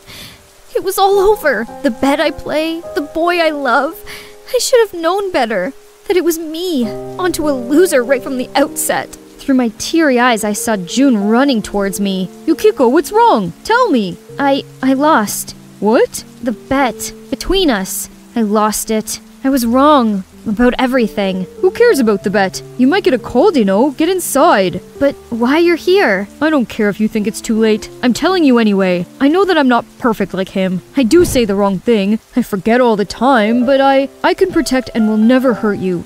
So will you marry me? My head was spinning, and in a moment of weakness, I said yes. At least I can save my dad's school and be with the right person who truly cares about me, instead of chasing some jerk who thought so low of me. I confided in Chiharu and my family about this, but kept it a secret from everyone else. my father didn't approve it at first, but seeing my determination, he reluctantly agreed. It was our fitting day. I was with Jun discussing our wedding, but he seemed distracted and kept checking his phone. Then he said he had to take a call and hurried out. Sensing something was up, I followed him. Huh? Why is he talking to Amaya? You have to thank me for your new fiance. I told Akira about your bet. Um, Excellent job, as promised. it's not about the money. It's about making Akira mine. I don't get why both you and my beautiful Yukiko like that dude so much. Anyway, Yukiko's waiting for me. Gotta go. I couldn't believe what was in front of me. What the heck are you doing here? So it's you who made up everything the whole time? No, Yukiko, let me explain. I trusted you, Jun, but look what you've done. You know what? You win. Do your worst. I don't care anymore. Then I ran home as fast as I could. Why do boys all fool me around like that? Right when I felt more disheartened than ever, I met the one that I didn't want to see the most. What was Akira doing here? Yukiko, let's talk. We have nothing to talk about. Chiharu told me what you're doing. You can't marry Jun. You liked me, so you mustn't fall for another one that easily. What? So you're the commander of my feelings now? Aren't you with Amaya? I'm not, and I never did. Listen, I was so angry to find out I was just part of your bet with Jun, so I ignored you. But then Chiharu told me why you did it and made me understand. So what? Anyway, you never liked me. I'm not gentle and too fierce, as you said before. Don't try to pity me. I don't. It's that I do like you. At first, I thought you were the type of person who'd use violence to solve any problem. But the more I got to know you, the more I learned about your pure heart. I shouldn't have judged you so quickly. I'm sorry. What just happened? I might be dreaming? But no, Akira, my seven year crush, just confessed his love with me. So, Akira and I got together. Jun was furious about it, but he kept his word, and now my dad has three months to pay off his debt. I'm helping him out by teaching karate classes to earn money, something I really enjoy. Everything was great, too great, until. Yukiko, I gotta tell you something. I I have to go abroad to study. I'll leave tomorrow. What? I don't understand. Why so sudden? I prepared for it months ago, but I couldn't tell you. I didn't want to make you sad. Will you wait for me? Of course not. I may get bored and start liking another by that time. It's time. I stood still watching the train pass by until I noticed Akira's melancholy smile. I liked you seven years ago, and now I still do. So of course I can wait for you. Come back soon, Akira.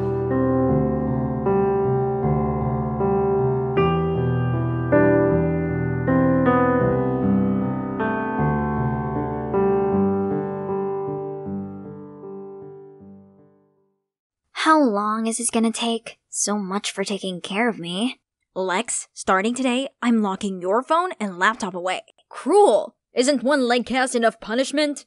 Excuse me, you don't deserve to have a say in this. If you hadn't bought our daughter that death trap motorbike in the first place, she'd still be intact. Yeah, sorry for making sure she doesn't grow up boring like her mom. Yeah, Another lecture on how irresponsible I was eventually turned into a quarrel between mom and dad instead. They stopped only when mom needed to leave for her business trip in Egypt. I'm done arguing with you. I have a flight to catch. I've got my eye on you, young lady. All the way from Egypt? That's kinda hard. Well, at least dad's here, so I won't be by myself. The next morning, I woke up to see a note stuck to the fridge. Alex, I'm shooting my new movie in Spain for a few months. There is a strict no phone policy to avoid leaks. So if it isn't urgent, don't call me. Love, Dad. Seriously? Choosing work over me? Why am I still surprised? That's when you get when you have a world famous actor dad and an award winning photographer mom. They're rarely home, and whenever they are, they're constantly at each other's throats. All the more reason for me to hang out with my biker gang. I love motorcycles. They're my only getaway. But that's how I messed up my leg. In my defense, I could totally nail that trick and win their stupid bet if it wasn't for that bumpy road. However, not a single one of my homies has checked on me since then. Not even my boyfriend Blake.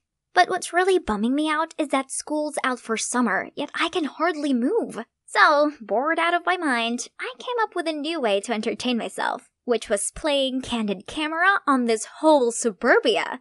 Thanks to my mom's camera, I had eyes on the newlyweds Cunninghams on the right, the Carpenters on the left, a few other houses, and ooh, tiny Timmy across the street. I swear to God, I almost thought some hunky guy had just moved in. My childhood friend Tiny Timmy had officially grown into Timothy. He looked just like a muscular version of Timothée Chalamet. Then Tim suddenly sat up and we accidentally made eye contact. Awkward. Looking good, handsome?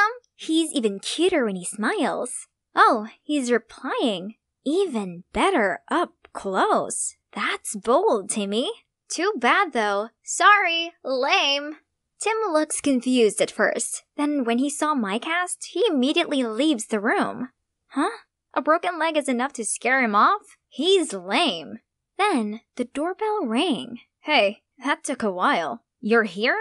Of course, you need to have a closer look, and could use a hand. Or a leg. Yeah, uh, I mean, come help this damsel in distress. From then on, Tim came over every day to help me out around the house. He'd been really helpful and even tried riding my motorcycle so it didn't have to sit idle for too long. Other than that bulked up body, he's still the friend I knew back in the day. We still had so much fun playing video games and watching movies together. You have to watch Bodies, Bodies, Bodies. It's nuts. Actually, I thought you might be into Lady Bird. Such a heartwarming coming of age story. Ew, no way. Timothée Chalamet is in it. Okay, sold. But how do you know that it'd sway me? I just do. Like how I know you spy on me from time to time, which, by the way, is super creepy. Yeah, right. As if he didn't intentionally leave his blinds open while working out. Mr. Shy Guy. One day, as usual, me and Tim were hanging out when suddenly my dear boyfriend Blake made a noisy entrance.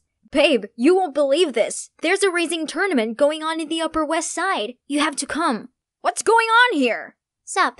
What do you mean, sup? Who's this little brat?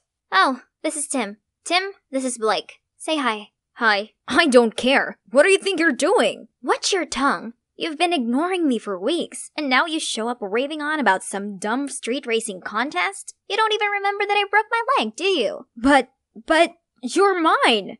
Blake was fuming like a bull ready for battle, and about to throw hands at Tim, but he stopped his fist midair. A defeated looking Blake fled off as soon as he got out of Tim's grip. Coward.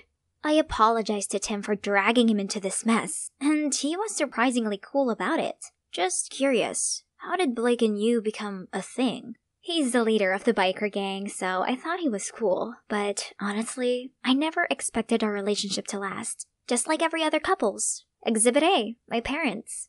I see. My dad's a good example as well. Then Tim revealed that his dad left his mom for another woman last year, which really upset him. I could relate so much to his situation. Maybe being locked up at home wasn't so bad after all, since we had the chance to catch up on everything. But the following morning, when I was chilling in my room, something horrible caught my eye. Something blonde. It looked like she was returning a hoodie to Tim. What kind of friend borrows a hoodie and acts like that around each other? Let's see what he has to say for himself. Who's that blonde? What was she doing at your place today? What? Who? She might look like strawberry shortcake, but don't be fooled. Whatever love you two might think you have will soon fade. That sweetness will turn sour in no time. Tim just burst out laughing. What's so funny? What made you think so? You don't even know Annabelle. Don't believe me? See for yourself. I then showed him all of the secrets I'd uncovered in our seemingly quiet neighborhood. First off, the couple from number 9 were both having affairs. The daughter from number 11 was using her boyfriend to hide her real relationship with another girl. And last but not least, the Carpenters, who seemed like suburban couples goal, actually had a far from blissful life due to Mr. Carpenter's drinking problem. In conclusion, there's no such thing as real love. I see your point, but on the other side of the spectrum, genuine love does exist. Tim points the camera towards the Cunninghams. Hmm, I'm not buying their poster couple act. Then, one day, Tim said he had to work overtime at the library to prepare for an event with, you guessed it, Annabelle only. I had to hide my anger as I watched him drive off with Blondie. With nothing else to do, I decided to watch the Cunninghams. Geez, how could they seem so lovey dovey all the time? I wanted to take my mind off of Tim, but the more I observed them, the more I thought about him with that Barbie. That's when I saw a book that Tim borrowed for me from the library. Looks like it's time to return it. I Ubered there, but there are many people here as well. Why did Tim say that the two of them would be here alone?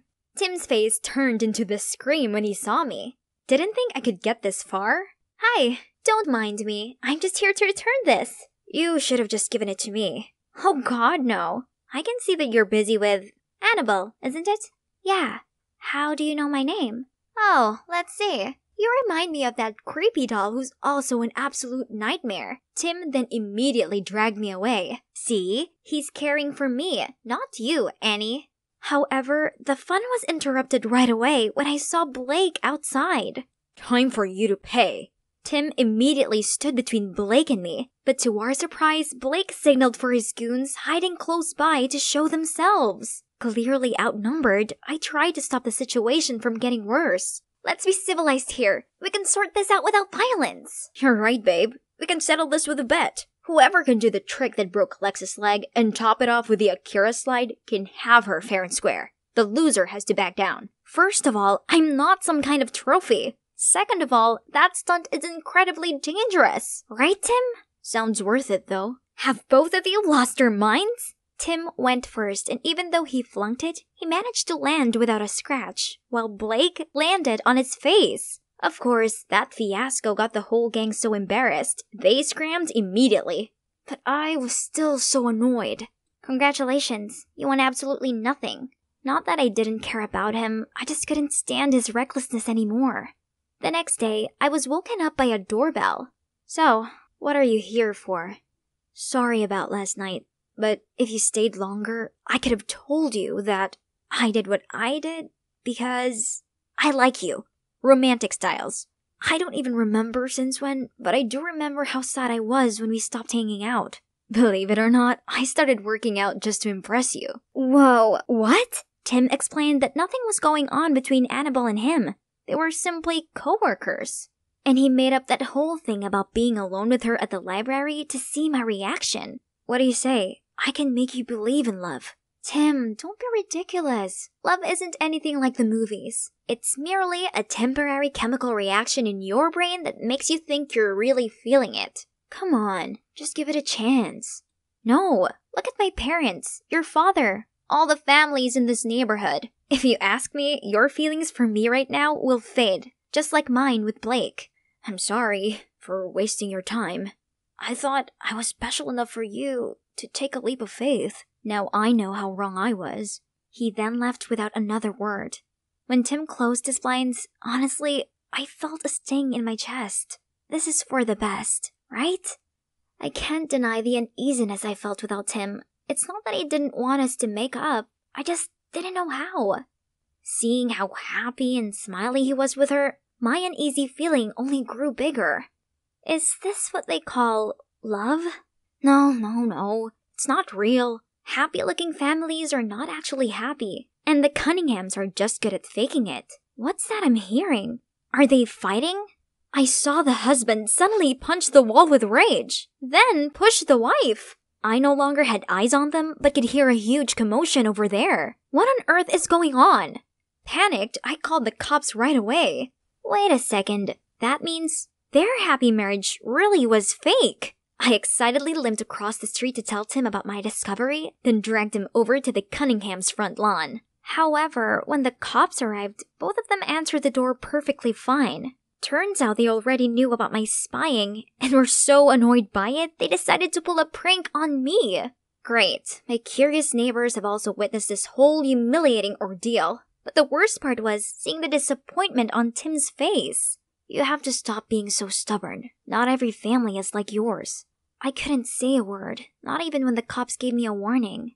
That night, I tossed and turned as Tim's words wiggled around my mind. Suddenly, something caught my attention. It's from Tim's house. Some flashlights were moving around.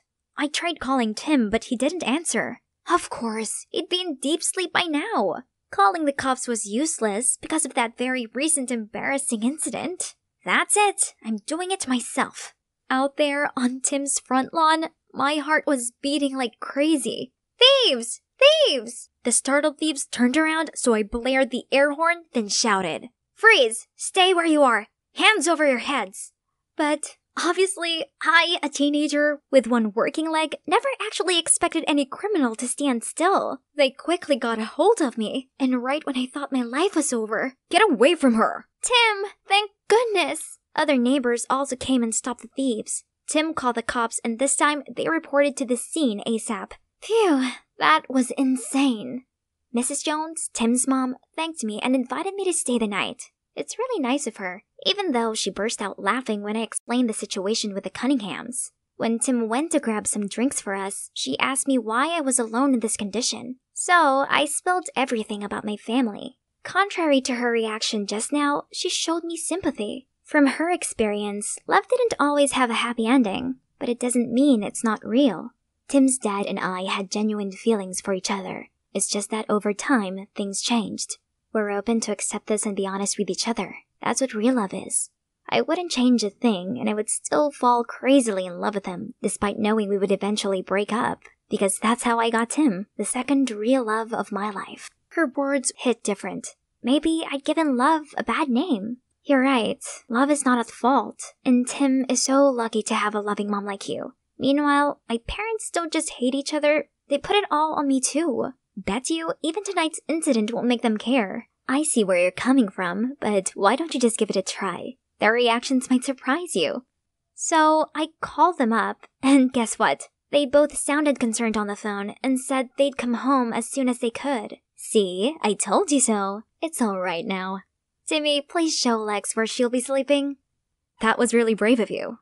Being all heroic out there despite your whole situation. I wouldn't have risked my life if it wasn't for if it wasn't for what? I'm all ears. For you.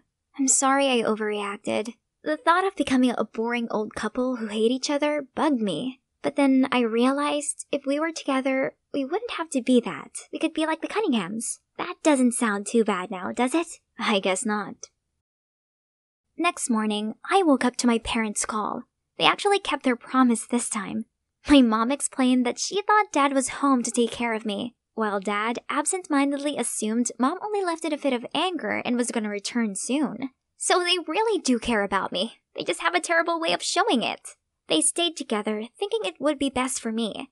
But the unending tension and bickering was eating us all up from the inside. This incident opened their eyes, so they agreed to have a peaceful divorce while still looking after me together. I'm finally free from the cast, but I actually feel even more liberated than before. Is this the power of my newfound belief in love? Is it because I've realized that love was around me all along? I'm not sure myself, but who cares? Alex and Timothy signing off. I arrived home in really good spirits after an exciting training session, and my mood took an instant nosedive to see my devious cousin Caitlin holding my diary. Oh, wow. So your crush is Leo, the swimming club captain, huh? Give me it back. I wonder if the whole school knows yet. Don't worry, your devoted cousin is here to help. Thanks a lot. But I'll do it myself. Stop poking your big nose in my business. Hey, um, first, your nose is much bigger than mine. And second, about Leo, Leo, whatever. He'll be mine soon. Tit for tat. Payback for stealing my boyfriend. How ridiculous. And so not true. She should blame herself for having terrible taste in men instead. No thanks. I didn't want a player like him either. Hi, I'm Megan, the leader of the school scout club. I'm friendly, fun, and love going on adventures, just like my explorer dad. So, of course, girls like Caitlin don't scare me. From day one of my dear cousin moving in with us, it was clear we were never going to get on. I love to run around the garden and learn interesting survival tricks with my dad, while Caitlin can't even stand a speck of dirt. Oh my god! Billions of germs are attacking me! Get me sanitizer! Now! And it didn't help at all that Caitlin's jerk of a boyfriend asked me out right after breaking up with her. Despite my clear disinterest in him, she blamed me that's when we were officially like Cardi B and Nicki Minaj and the prank wars began. She drew on my face in permanent marker while I slept, stuck gum in my hair, and once she even tried to shave my eyebrows. But who am I, huh? I can beat her with only one move. But now the stakes have been raised. She's going after Leo. So I need to confess my feelings to him ASAP before Caitlin butts in and ruins it. The perfect opportunity would be the upcoming school field trip for top students, which Caitlin definitely can't join. And there'll be plenty of chances for me to impress Leo. But there's one slight problem. It's by a river. OMG, thinking of it made me want to pee my pants already. I have thalassophobia, which is an intense fear of large bodies of water. Of course, I keep this a secret because no one will take me seriously as a scout leader if they find out about this. However, this is a once in a lifetime deal, and no way can I just sit at home while Caitlin digs her claws into Leo. So,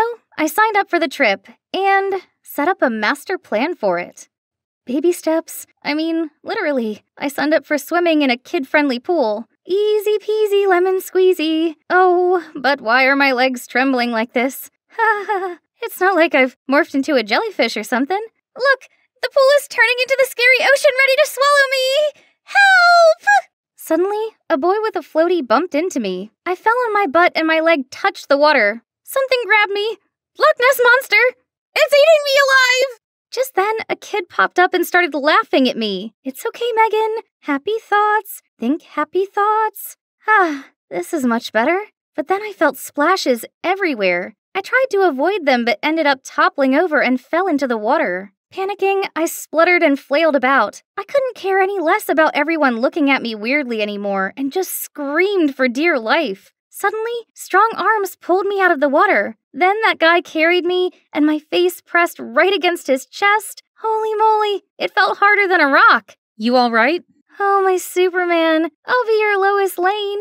Ew. Snot is streaming down your face. Disgusting. Gosh, this is so embarrassing. I got dressed at the speed of light and ran out of there. Um, hang on. Something isn't right. Hey, missing something?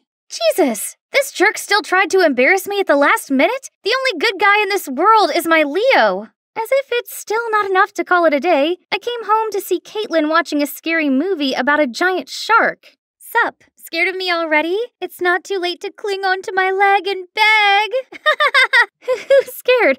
This stupid show. It's obviously all CGI. There's no shark in the world that could be that big. and, um, they're labeled as dangerous, indiscriminate killers that eat anything in sight, but in fact, sharks are most often the victims. Whew. My acting was not so bad, was it? Finally, the field trip participants list was published. Of course, my name was on it, and Leo too. But wait, why is Caitlin here? She's always wrapped up with boys instead of studying, and doesn't even remember the multiplication table. What? Can't accept the fact that I'm a genius too? FYI, I am super quick at math. Really? So what is 356 plus 445? Easy, 234. Huh? That's not even close. But it was quick. See you on the trip. I'll be watching you, sis. The day finally came, and our tour guide is Mike, the best scout in the state. But hold on, why does this guy look familiar? Oh no, that's the guy who saved me at the pool. Scared that he'll expose me, I didn't know what to do but to give him the stupidest smile. To my surprise, he seemed not to remember me at all. Then he asked me to demonstrate the first activity with him vertical neck climbing. It's time for me to shine. Eyes on me, Leo. Gosh, this guy climbed like a monkey, but don't expect me to accept a loss. I was enjoying the victory when Caitlin approached me. Everyone knows that muscle power is only to make up for a tiny brain.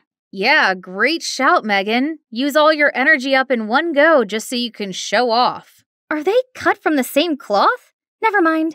Hmm, Leo's looking at me. His eyes are so dreamy. That was even more powerful than 10 cans of monster drinks. Nature Hunt, Monkey Bridge, Tarzan Rope, all these challenges didn't make me break into a sweat, and Leo even came to praise me. That's incredible, Megan. How can you do that? Oh, Leo, I only had an apple for breakfast, so now I'm having hypoglycemia or something. I'm so dizzy. OMG, my dear cousin should really get an Oscar nomination for her fake act. I gave my sweetest smile and helped her, just so when Leo wasn't looking, I tripped her up and she fell face first into a muddy puddle. Leo tried to wipe it off, but ended up turning her into a monkey. Then Mike walked past and said, Wow, this layer of makeup is a big improvement. His cattish tongue seemed not to leave anyone alone. In the afternoon, I took my free time to wander around and saw a pretty bird. Hmm, I wonder what it is. That's a red capped manakin, very popular in Central American forests. Wow, good knowledge. Thanks for telling me without being asked. They have a signature dance to impress their mates. Any idea? A moonwalk that rivals Michael Jackson's. Wait, what? Why did I laugh so hard? He might be funny, but he's still a jerk. The last activity of the day was using rocks to make fire, and I was paired with Leo. Thank you, universe. I squidged up close to him and offered him a mint. He happily took it, but then suddenly turned red and started choking. I leaped into action and hit him hard on his back, making the mint fly out. Leo immediately took my hand. My guardian angel, where have you been all my life? Anyway, would you like to join me for a walk later? I have something to tell you. Yes! Oh, I mean, sure. Where do you want to go? The riverbank. Romantic, right? R- river? I'll die there. But so what? This is my chance. If I die, I'll die under the title of Leo's girlfriend. Totally worth it. I arrived to see Leo already waiting. His skin was glistening beneath the setting sunlight. Hmm, he was like my very own Edward Cullen, but it didn't make me any less scared. Oh, you're here. You look pale. Are you sick? Oh, no. No, I'm fine. Great. Let's get on the boat to enjoy the view. I closed my eyes tightly and squeezed Leo's hand. Then Leo kept talking, but I couldn't hear anything until. Megan, I've admired you for so long. Will you be my girlfriend? I turned into the ripest tomato, but managed to blurt out, I- I'd love to. Gotcha! Gosh, why is Caitlin here? I was still in shock when Leo jumped out of the boat and high fived Caitlin? Then they kissed? Surprise! Now you know how it feels to have your dream guy stolen away. No, no, please, I, I can't stand it. The water is scaring me. Just enjoy the view, Megan. Where's that fierce girl gone? Your mom told me that you have thalassophobia, but I didn't expect it to be so real. Don't worry, I'll show this to the whole school so they'll come rescue you. Good luck, cousin. Leo and Caitlin walked off holding hands. I stayed as still as I could in the unsteady boat. The world was spinning around me, but I couldn't do anything but cry. Time went by like a decade had passed. Then I felt a pat on my shoulder. Mike stretched out his hand, then swooped me up in his arms and carried me to the lawn nearby. But how did you find me? I saw the video Caitlin just posted, then immediately went to look for you along the riverbank. Is that so? How embarrassing. He kept silent for a while, then said, You might not know this, but I used to be freaked out by heights. My acrophobia is better now, but still.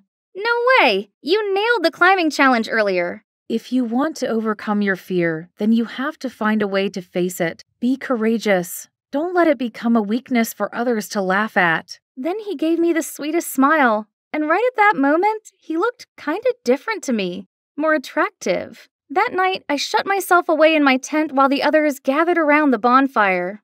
I wasn't ready to face anyone just yet, and my mind was too restless to sleep. The next morning came the boat race. When I arrived, all judging eyes were on me. I was nervous, but soon plucked up my courage and spoke out. Hi, everyone. I'm Megan, and I have thalassophobia. So I can't complete this challenge. I'm embarrassed. Not about my phobia, but about letting myself live in fear of it. I love being a scout leader with all my heart, so I'll try to beat this. Fear is not your enemy, it is your motivation. Then I walked off to cheering and clapping. Back at the tent, I saw Mike waiting for me. That's the spirit. You're really brave and have the qualities of a true adventurer. Even when you're not in the game, you've already won the special prize in my heart. Everything went smoothly after the field trip.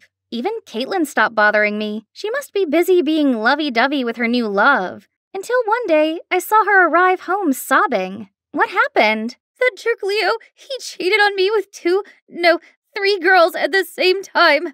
Excuse me? Why is my life so miserable? I know I can never outsmart you or be as brave, as confident as you, but do I not deserve at least one nice thing? I didn't know Caitlin had this self deprecating side. Suddenly, I felt sorry for her. She is my cousin after all. Don't cry. I'll help you teach him a lesson. Really? Megan, I'm sorry for letting my jealousy turn me into a monster. Are we good? The next day at school, we stepped into the hallway and heard a horrified scream. It was Leo with his locker full of cockroaches. He freaked out so much that his friend had to catch him before he fell over. Oh, Leo, I am just warming up. I gathered my classmates and showed them the extra special gift I'd prepared for him. Hello, everyone. This time on Name a Cockroach After Your Ex, we have here a gentleman named Leo Whittemore. Happy Valentine's Day, everyone!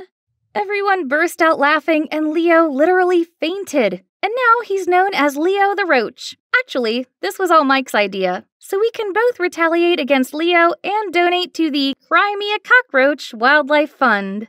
And back to me. To make things right, I decided to go back to where I started. I realized nothing is impossible when you believe in yourself and when you have a perfect companion to give you the gentle nudge you need. I was walking through the forest when a scream startled me. A man running in horror from a pack of wolves. I quickly howled at them, then crouched down. Distracted, the wolves stopped, left the guy, and cautiously sniffed their way over to me. Hey girl, run away! Shush! After deciding I was no threat, they wagged their tails and started licking my face. Are aren't you scared? Not at all. People often misunderstand wolves. This isn't Little Red Riding Hood. They're not actually grandma eaters. Come and make new friends, buddy. Hi, my name's Winona, an 18 year old Native American living on the Blackfeet Reservation with my mom, and I'm about to tell you the craziest story of my life. After the wolves left, I helped the guy find a place to clean his wound and told him more about the wolves. So you're a Blackfoot born and bred? It's my first time meeting a Native American. How about you? What brings you here, city boy? I'm actually a pianist wandering here for inspiration. Have you found it yet? Or did you almost lose yourself just then? Inspiration's hard to find, especially when you're a theater pianist. A what? A theater pianist. I work at Winter Garden. In New York? Wow, it's my dream to be a Broadway musical actress. Actually, my theater's looking for a stage crew. You could start from there, and I'll find ways to introduce you to the right people. I couldn't let such a once in a lifetime opportunity slide. But the thing is, my mom absolutely resents theater arts and forbids me to even mention it. So, I gotta devise a plan. I brought Luke home for lunch. Mom was so welcoming and even prepared a great banquet. So, Luke, right? What brings you to Montana? I'm doing a research paper for school. I'm I'm in college. Oh, so you're around the same age as Winona. She's recently finished high school. I know, and if it wasn't for Winona, I'd be dead by now. So I was thinking, if it's okay with you, I'd like to invite her to college with me. That's nice of you. But what are you studying? Uh, hotel management. Mom, I thought I could give it a try too. But honey, you said you wanted to take a gap year. I just didn't want to try college alone. But now I've met Luke, it'll be different. Mrs. Ryder, I promise I'll take good care of her. Mom smiled, then nodded. Yes, mission accomplished. Oh man, look at how crazy the streets of New York are. Thankfully, Luke arranged a small place just a few blocks away from the theater for me, and the following day, he landed me a staff member job to get me used to the theater scene first. It's not easy, especially working for a grumpy director with a zillion demands. Hey, you! Yes, you cleaning lady! Out of the way! But just being here this close to the stage is incredible, right? One day, on set for Mr. Killorn's new play, he started yelling and throwing papers everywhere. Curious, I picked up the script and saw a line written in Blackfoot. Ketzikakumen? I love you? Mr. Killorn suddenly noticed me. Oops, I must have said it too loud. How did you learn to speak Blackfoot? My mom taught me. Oh, I live in the Blackfeet Reservation. Interesting. You know what? You're cast for the leading role in this play. Go and meet Jade, the coach here at the theater studio. She'll instruct you further. I froze on the spot and couldn't believe what had just happened until Luke appeared, bowed to the director, and pulled me out of there. Am I finally living my dream now? Here it is, the studio from the business card. Huh? Are they shooing a coyote? This stupid guy was waving his umbrella at the snarling animal. I tried to tell everyone to back up, but no one heard my tiny voice until the guy next to me suddenly spoke up. Everyone, back up! Thank God people finally listened. I slowly advanced to the coyote, knelt, and offered my hand to him. When he seemed to trust me enough, I gently stroked his head and calmed him down. Just then, Mr. Killorn's assistant appeared and took the coyote in. Turned out he's Mr. Killorn's pet. Who keeps a wild creature as a pet in this stuffy urban space? You okay? You hurt anywhere? I'm fine. The poor little coyote looked terrified. You know a lot about animals, don't you? I grew up with them, yeah. In Blackfoot mythology, coyotes are guardian spirits. Well, you sure were a guardian spirit right then. I was still so touched by his words, but then Luke suddenly appeared. Winona, I just heard about what happened. You okay? What are you doing here? The guy, who was friendly just a second ago, now seemed cautious and just walked away while Luke glared at him. I'm fine. You should stay away from him. Hmm. Luke doesn't seem to like that guy. Something weird is going on between these two? I went and met Jade, our coach. She told me about the role and introduced me to Nathan, my actor partner, which happened to be the guy I just met. I couldn't help but grin and offered my hand to Nathan, but he just ignored me and turned to the script. Hello? Am I just a stranger danger now? We then tried the opening act, but since it was my first time being on a turntable, I took the wrong step and fell over. Nathan! I was blushing when he suddenly glanced at Luke and dropped me, almost kissing the floor. Right then, a girl barged in. Is everything ready for my set? You're late again, Stella. And actually, you and Winona are both gonna practice and we'll see who's right for the role. Winona who? As if this nobody can stroll in and try to steal my role? How snobby. She's lucky this nobody doesn't want to make a scene on her first day. During the break, I questioned Luke more on Stella. Stella is super talented. She's marvelous at dancing, singing, and acting. No surprise though, because she's been training since she was little. That's exactly why we should just give her the role already. A waste of time dealing with amateurs. That was so rude. So much for ever thinking he was friendly. In the following weeks, I finally got a better grasp of my character. The female lead was a gentle, down to earth Blackfoot woman. Easy peasy. I just need to pretend to be my mum. Only, my on scene love interest Nathan was making things difficult. On stage, he refused to make eye contact with me, but he didn't have this trouble when he was up there with Stella. Every day I had lunch with Luke while Nathan and Stella were giggling in another corner, acting as if they were the most powerful couple here. Are they really in love?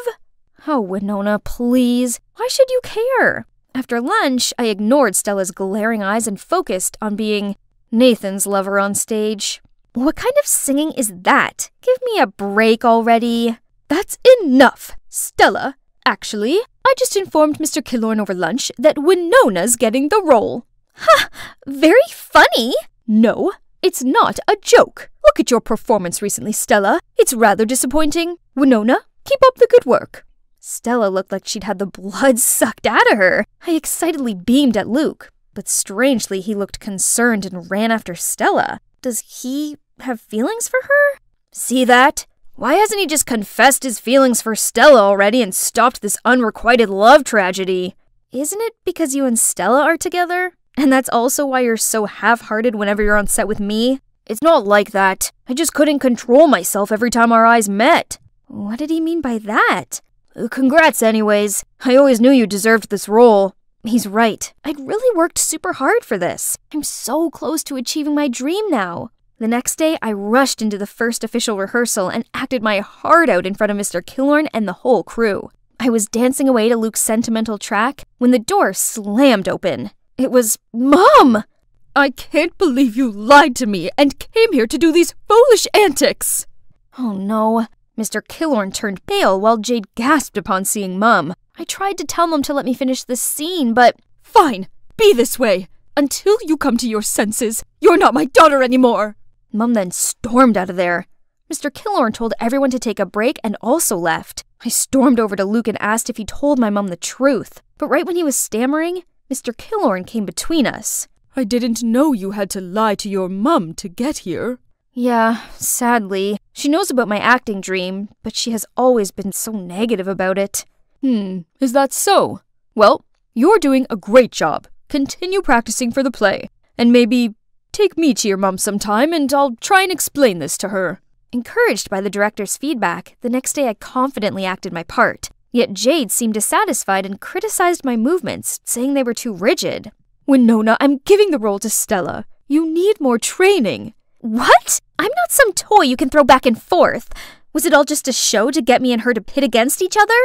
What was that about? Why the change? You're not qualified. Go back to your mother. What has this to do with my mother? I didn't know what was going on, but I was sure of one thing. I needed to prove myself, so I stayed at the studio practicing, swinging, and swaying my soul away under the studio light until I accidentally sprained my ankle. Right then, Nathan came out and helped me up. Why are you still here? I saw you stay, so I thought I'd stick around for a little longer. As he spoke, he gently pressed an ice bag on my ankle. I felt the butterflies flapping in my stomach, but suddenly remembered his attitude before and pushed him away ready to stand up just to fall into his embrace again. You must think I'm so hot and cold, but I just didn't want Luke to misunderstand anything. What do you mean? We're just friends. And what's up with you and Luke? Then he told me how he and Stella were the best of friends back at acting school until Luke appeared. Luke was instantly attracted to Stella and asked Nathan to set them up. Nathan, of course, happily agreed. However, the next day, Stella suddenly expressed her feelings for Nathan right in front of Luke. Luke didn't take it too well and thought I was messing with him. He's resented me ever since. So, you and Stella are just friends? We are. Stella might appear childish, but she's good natured. She's just. She's dealing with a lot inside. I've just been watching over her. But right now, she's gonna have to learn to stand on her own since I think I've met my guardian spirit. His guardian spirit? We were so close, I swear we were almost kissing. But I quickly pulled away, saying I gotta go practice. The final rehearsal is my only chance to get my role back now. I showed up just as a substitute today, but when everybody was ready to rehearse, the only person missing was Stella. No one seemed able to contact her, and the director was growing impatient. Jade had no other choice but to push me onto the stage. Luke didn't seem too happy with this replacement and suddenly played the piano much faster than expected. Flustered, I took a deep breath and let myself float naturally to his rhythm. During the intermission, I asked Luke what that was about. Drop it, Winona. I already knew. You got in here all thanks to your director dad, yet you fooled me with your little story. It's you who forced Stella away from her chosen role. Who's my dad? Mr. Killorn? Right then, I was called for the next act. Still puzzled by what Luke said, I couldn't focus on my part with Nathan. Suddenly, I heard Nathan scream my name and leapt to push me to the side. I fell on the floor and saw the massive chandelier land on Nathan. Everybody rushed to check on us, and among the crowd came, Mom? We were all waiting for the doctor to check on Nathan when Luke suddenly spoke out. I'm sorry for what I said, but Jade told me Mr. Killorn is your dad, and you guys forced Stella to drop her role. Mr. Killorn and I both gave Mom astounded eyes. Winona's my my daughter? That's right, Andrew.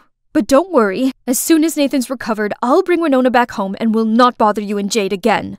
No, no, you've got it all wrong. Why didn't you tell me about our daughter? Jade said if I told you, she would harm Winona. Wait, does this have anything to do with the accident? Cause right before the act, I saw Jade talking to a crew member who set up the stage for Nathan and Winona.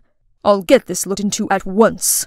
So, this play about Andrew and a Blackfoot woman falling in love? Is it about you and Mom? Mr. Killorn didn't reply, but looked at Mom tenderly, and she burst out crying. Right then, the doctor came out, saying we could visit Nathan. Luke quickly pulled me aside, leaving the adults there. How are you feeling? Any discomfort? You're not mad at me anymore? Yeah, um, sorry for being a jerk. It's alright, dude. Go find Stella before she leaves. She said she was sick of being thrown around. She's taking a leave to reassess a few things. But why me? Aren't you? We're just friends. How many times do I have to tell you? Luke didn't even wait for Nathan to finish and rushed out of there. I wished them a happy ending. And it's indeed happy endings all round. Not only for Luke and Stella, who are now officially an item, but also for Mom and Mr. Killorn. Or should I say, Dad? Our family has finally reunited. On the other hand, Jade vanished as soon as her schemes were out in the open. Turns out, all of this was because she'd been in love with my dad for years. So back when Mum was dating Dad, she told her lies about him to get her to leave. Furious that both Mum and I were back, she decided to make us go for good. Dad helped me get a spot in the theater academy in New York, but he misses Mum lots, so always makes excuses to bring me and Nathan back to Montana.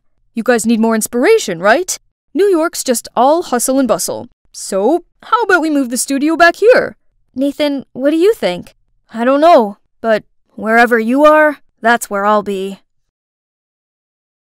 Blue sky, white clouds, golden sand. Such a perfect day for sunbathing on this luxury Hawaiian beach, while being served by Kirby, my archenemy. That brat used to tease me all the time about my old clothes and messy hair. Little did she know, I was secretly a millionaire. Earth to Clarine. Castle building all day won't fill your stomach. Finish your shift and go home.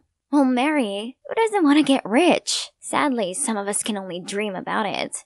If you want to be Cinderella, then go find yourself a prince. Just not Danny. He's just as poor as us. Do not underestimate my Danny. My precious heart fell for him for a reason.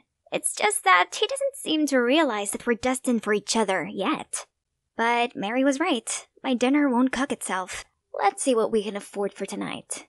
My dad left us when I was four, and since then, mom worked her socks off to provide for us. So it was down to me to also work to save up for my law school dream. All of a sudden, groceries started raining down on me. Bottles tumbled off the shelves and broke into pieces right by my feet. Ah! Is it an earthquake? I stooped down and prayed until it stopped. Thankfully, no one was hurt, but geez, it sure left a freaking mess.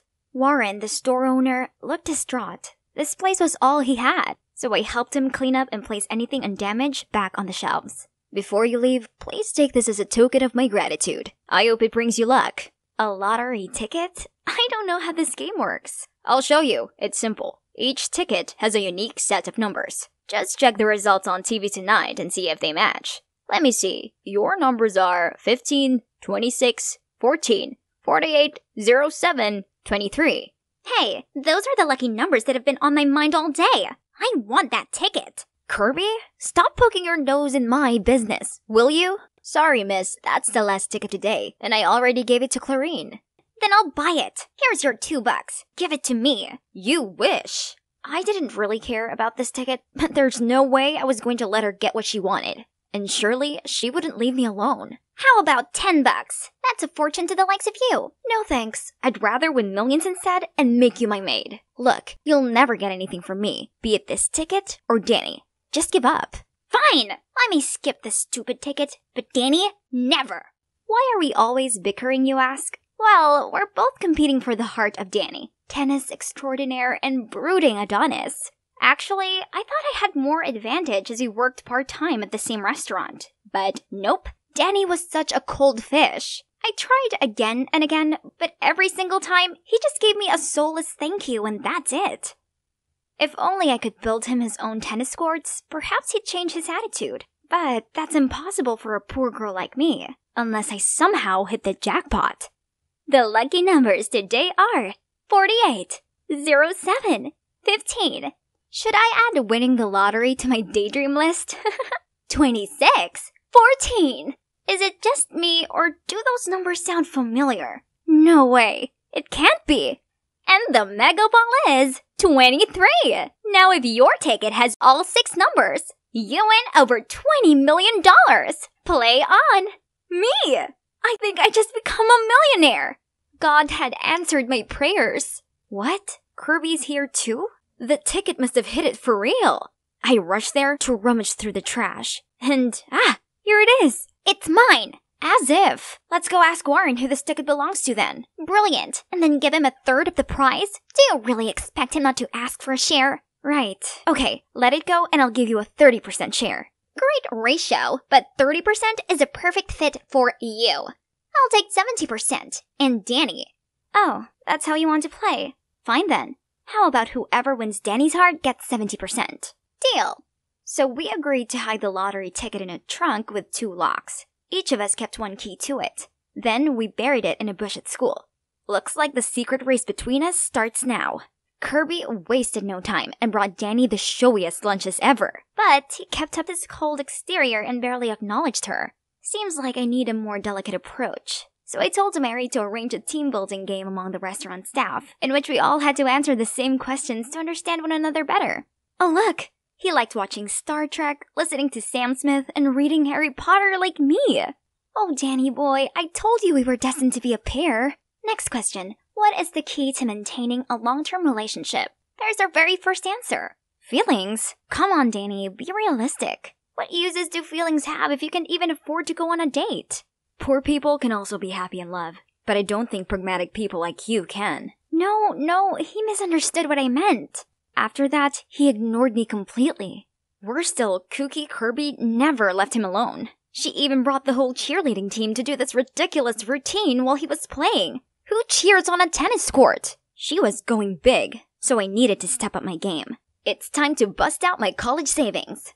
I spent the whole day at the mall buying him gifts and giving myself a makeover. This is the first time in my life I've spent my hard earned money without considering the price. It feels so good, but at the same time, kind of bad.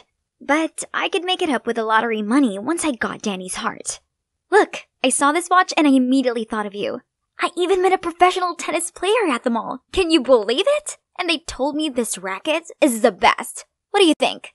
You're crazy. This costs thousands. Why are you doing this?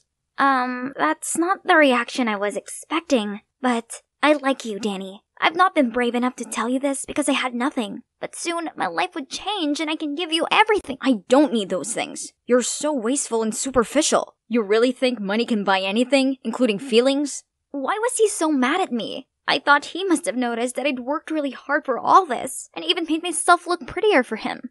Okay, he might not like my gifts, but is it so bad that I want to be a little generous to myself now that I have some money? Things got even worse when later I arrived at work to see Kirby booking out the entire restaurant to let her, Danny, take a rest and enjoy dinner with her. Fine, you win, Kirby. I give up. nothing, basically nothing went the way I wanted. My luck, my money, my man. Now I'm fine with just the 30% God gave me. I'm done chasing anyone. Only my stray friends understand me. Muffin, Brownie, Oreo. Wait, where's Cupcake? Looking for him? Let him go. This wasteful, superficial girl needs to make sure he's not starving. So you're the one who feeds them every day?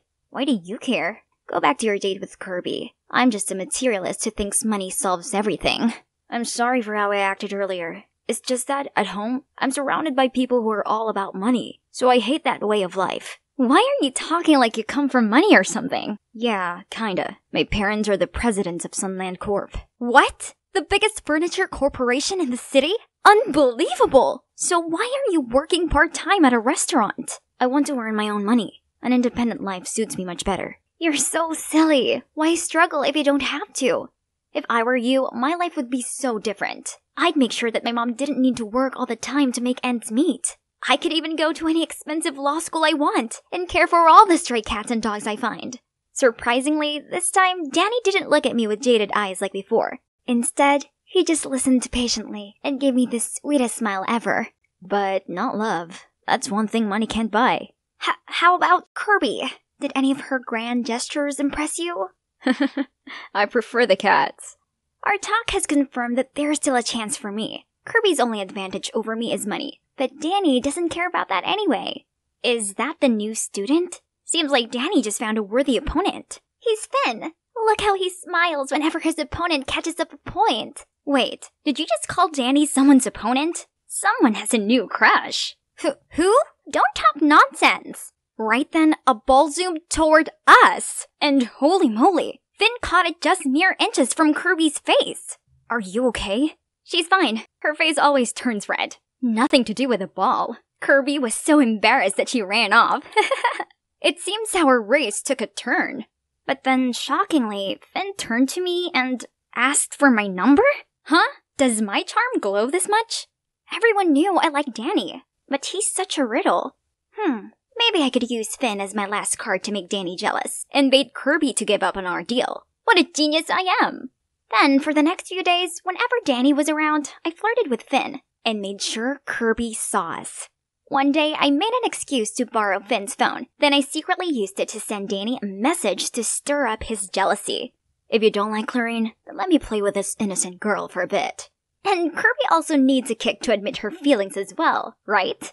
Actually, I like you. Looking into your eyes, I know you also have feelings for me. So, and finally, I set a date for them at the tennis court tonight at 8. If Danny doesn't want me to get hurt and Kirby doesn't want to miss her true love, they'll show up. Then I covered up my tracks, blocked both our numbers, and returned his phone. Thank you so much. Are you free tonight? Come to the tennis court. I have something important to tell you. Oh god, Finn looks like he just won the Wimbledon. That night, Finn got there early and was really excited. Let's see who'll raise the curtain. Ah, it's Kirby. Oh, Finn, you had me at hello. But admitting my feelings means I lose the deal with Clarine, so. Uh, what do you mean? What deal? No, no, don't get me wrong. Actually, we won the lottery and made a deal to share it. Anyways, silly me. Money can compare to you. Lottery? You two share it? Why did she even mention the money? Right when it's getting messy, Danny turned up. Bastard! Now you're two timing? Danny, why are you here? He's just playing with you. This jerk is seeing both you and Kirby. Don't let him fool you. I think Finn is a nice guy, Plus, I've told you how I felt, but you've never seemed to like me back. So, Finn, we. Finn told me he liked me! Clarine, I like you. More than you know. Can't you see? I've given a lot of hints. I always make excuses to go home with you. I told you that feelings are the most important thing to me, as in my feelings for you. Really? Idiot, how am I supposed to pick up those hints? So this daydreamer wasn't just imagining things? Turns out my plan actually did succeed. Kirby, it's true. I do like you. But I thought you were out of my league, so I just wanted to ask Clarine for help. Oh, how nice. Kirby, with a huge grin, then admitted I won. Then she dragged Finn away. Hmm, I guess my biggest win is successfully pairing up two couples. The next morning, Kirby and I opened the trunk to get the ticket. When to our utter shock, Finn swooped in and snatched it away. While we were still processing what was going on, he ran off with our millions. But then a shadow sent him tumbling to the ground. Danny? I saw him following you two and knew he was up to something shady. Then Finn confessed that he transferred schools and approached me for the lottery ticket following his dad's order, who's none other than Warren. He knew it was a jackpot winning ticket, so he set up a plan to steal it from me. I'm so sorry. My dad's a gambling addict, which left him heavily in debt, and only this ticket could save him. Oh, Finn, I believe he's not a bad person. This ticket was originally from Warren anyway, so we both agreed to give him a share to pay off his debt. Finn was moved and handed the ticket back to us. On learning this, Warren thanked us and offered to drive us to Tallahassee to claim our prize. He even carefully got me to double check that my ticket was in my purse. But halfway there, the car suddenly broke down, so the four of us got out and gave it a push. But as we started pushing, Warren suddenly sped away, leaving all of us standing there in shock. Where's your purse, Clarine? I left it in the car. That greedy snake Warren did this on purpose to run away with a ticket! Now what to do? Walk back home or walk to Tallahassee? Calm down. Danny already has a backup plan. This is the real ticket. Enjoy the view for now. A taxi is coming to pick us up. Actually, the moment Warren offered to drive us all the way to Tallahassee, I sensed something sketchy. So I swapped the tickets. My dad's gone too far this time. He needs to stop gambling and work hard to pay off his debts instead. Finally, we got the cash prize. However, the four of us decided not to divide it anymore. Instead, we're building a shelter for stray animals together. Surprisingly, our project soon reached many philanthropists, and now our fund has been expanded across the US. Since then, Kirby is no longer obnoxious. Now she even wants to become a veterinarian. And me? I will continue to work my way into the law school of my dreams. My hard work has really paid off because they just sent me an acceptance letter. I might not be rich, but in all honesty, it doesn't matter, as I couldn't be happier. Hey, I'm Esther of the Rising TikTok channel at Aesthetic, where I share my passion for fashion. Look at my newest design. Cool, huh? Who would have thought newspaper was a great material for making dresses? I was trying one on and posing for photos when I heard a knock on my door. That's my mom and dad. Esther, we have some good news. We're moving. What? I'm being transferred to another branch in San Francisco. Can you believe we'll be living in that sunny city? No, no, we can't move. I'm I'm a senior already. All my friends are here. Mom, just get over it and start packing. This is our one chance at a better life. Why can't they understand that I'm not simply shy, but actually have major social anxiety? It's a real thing that I can't just get over. That's also why my 2 million TikTok followers still haven't seen my face yet. I could barely handle the stress from across the screen, never mind being alone in a brand new school full of strangers. Oh gosh, this place must be twice as big as my old school. It's gonna take forever to find the bathroom. Man, it feels like a thousand eyes are on me. Or maybe not, but I can't risk looking around. What if someone makes eye contact? My palms are sweaty, my heartbeat is so loud I can hardly hear anything else. But then, some hot couple walked in and literally ate up the entire hallway's attention. Good, surely no one would notice me now. It was so exhausting running from one class to the next. Now, where do I sit? I walked over to a table, but no one batted an eye. I wasn't sure if I should sit down or not when suddenly a pretty girl appeared. Sky blue. Sorry? Anyway, you're new, right? I'm JoJo, class president. Come sit with us. I followed her to another table. Hi guys, got space for two more? Yeah, sure, the more the merrier. Oh no, that girl doesn't sound too happy about having me here. But it would be too awkward to just get up and leave. Uh, hi, I'm Esther. Hey, didn't know they serve fresh tomatoes here. Finish your lunch, Amanda. We have homework to do. Phew. Yeah, think about your homework, guys. Don't mind me. I got to know the school layout a bit better, so the next day wasn't as hard. Until I saw some girl waving at me. She looked like JoJo, but her eyes weren't blue. Must be her twin sister or a doppelganger waving at someone behind me. You really just got ghosted in real life? And you call yourself class president? I flinched. So that actually was the class president from yesterday?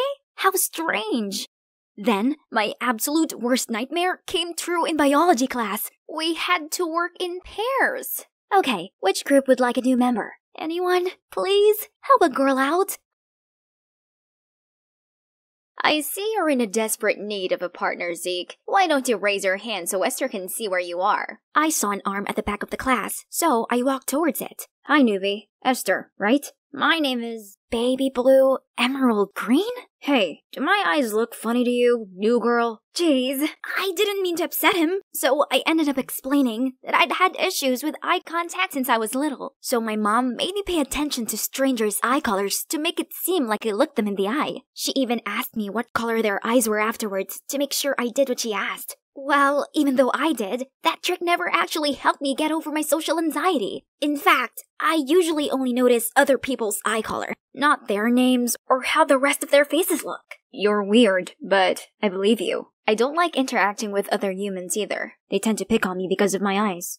It shouldn't come as a surprise that us shy kids got along pretty well. Zeke taught me biology and chemistry after class, while I helped him with his Spanish homework. Thanks to him, lunchtime isn't as stressful anymore. We could chat away about anime for hours, and he's supportive of my fashion obsession. So I felt comfortable enough to tell him about my TikTok account. He still liked to tease me from time to time, though. I read her. What color are their eyes? You know, the powerhouses, Colin and Amanda over there. No way. I never look pretty guys in the eye, cause I'll immediately turn into a walking tomato. Same thing for hot girls. I don't want them to think I'm trying to pick a fight with them or something. You're that avoidant? Have you ever made eye contact with anyone here except me? Yep, Jojo, the blue-eyed girl. Blue? You know her eyes are brown, right? She likes wearing contacts. Jojo changes her eye color, hair, and accessories every week. She's quite a chameleon. Too bad she seems so smitten with that boring guy Colin Gray. Wow, someone clearly has a crush on Jojo.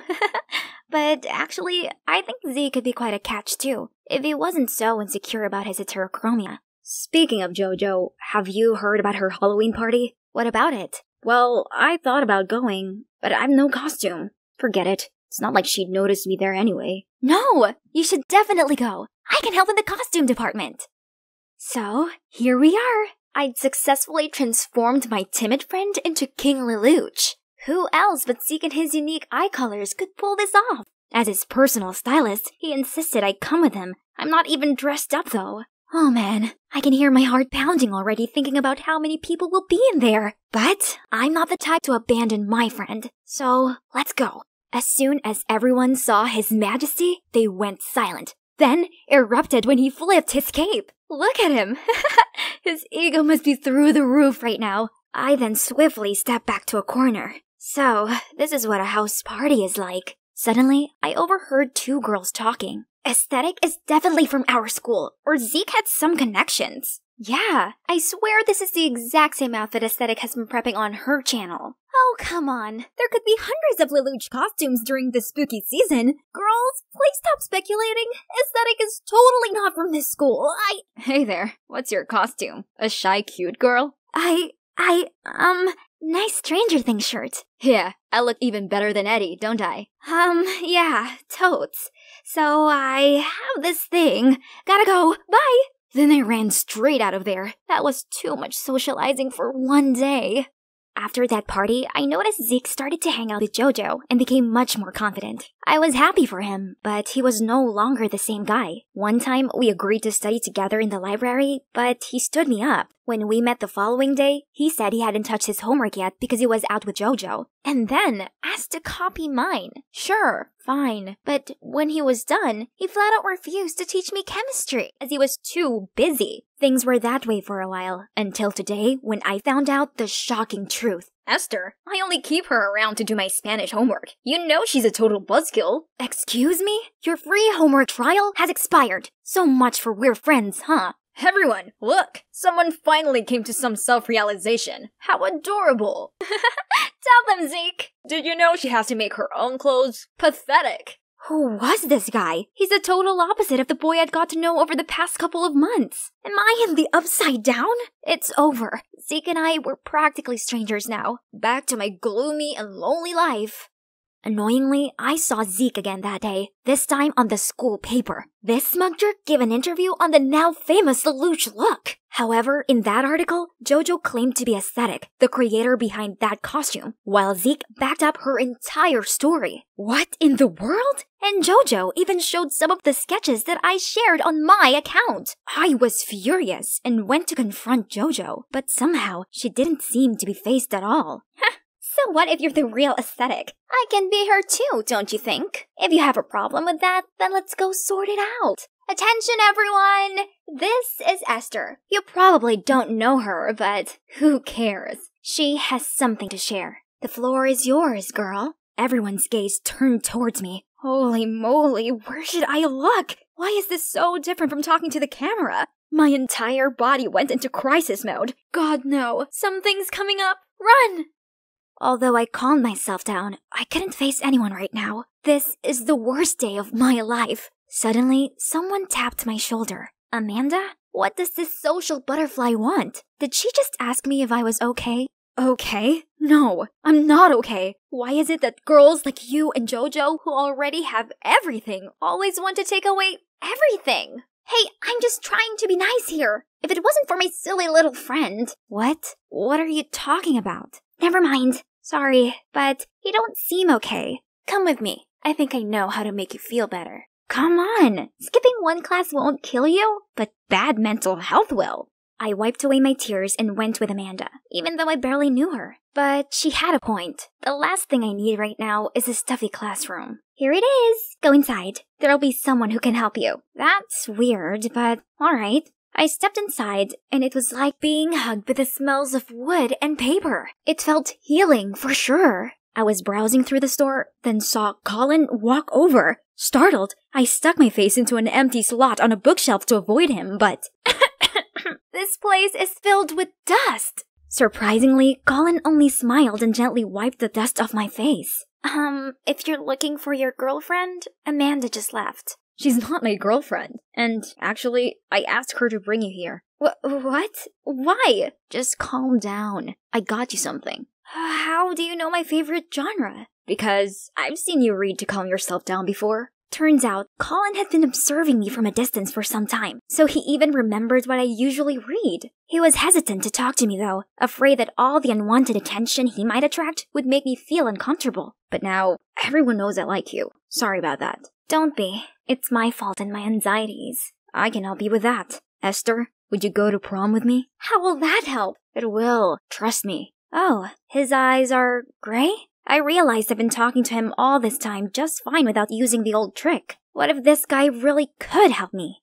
On prom night, Colin drove me there. While he was parking his car, I waited in front of the venue. Out of nowhere, Zeke approached me. Listen, there's not much time. You gotta listen to me. Jojo plans to give you an award, but it's only to get you to stand on the X mark on this stage where the trap door is. She wants to humiliate you in front of the entire school because you're with the guy she likes. So be careful. What game are you trying to play here? Why are you telling me this? I want to make things right. Jojo took advantage of my feelings for her, and I was too blind to see that she only liked Colin, and she's been using me to hurt you. This is my chance to make it up to you. So please, don't go up there. It's a trap. Stop it already. I won't let you make a fool of me again. Right on time, Colin came to the rescue. Haven't you done enough? Stay away from her. I'm truly sorry, Esther.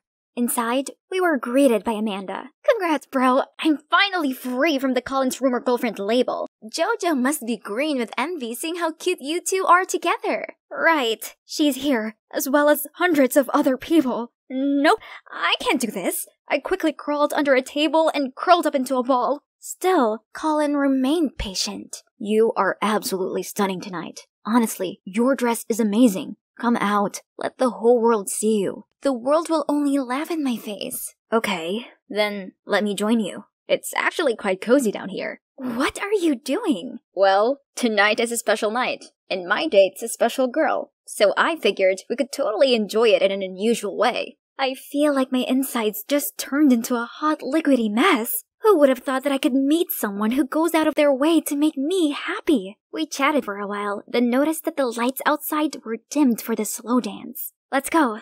Hand in hand, Colin and I swayed to the melody, feeling like we were the only people in the room. Then, the music suddenly stopped. They were about to present tonight's awards for remarkable students. And now, Best Dressed of the Night award goes to Esther Crawford! No way! What Zeke said immediately came to my mind. I turned around to see Zeke looking concerned and shaking his head. Maybe he'd been telling the truth after all. You don't have to go up there if you don't feel like it. Colin was as understanding as always. But then I saw Jojo's smug face. I couldn't let her win again, so I mustered all my courage and stepped onto the stage, but steered clear of the X mark Zeke mentioned. Thank you, everybody, but I believe another person deserves this award much more than me. She's none other than our hard-working class president, Jojo. That's so sweet of you, but it's yours. Please, step up to receive it. You mean here? No, one step forward. Here? Jojo became impatient and rushed towards me. No, you have to stand here! Right back at you, Jojo. Have a taste of your own medicine. Now that's some headline material for the school paper.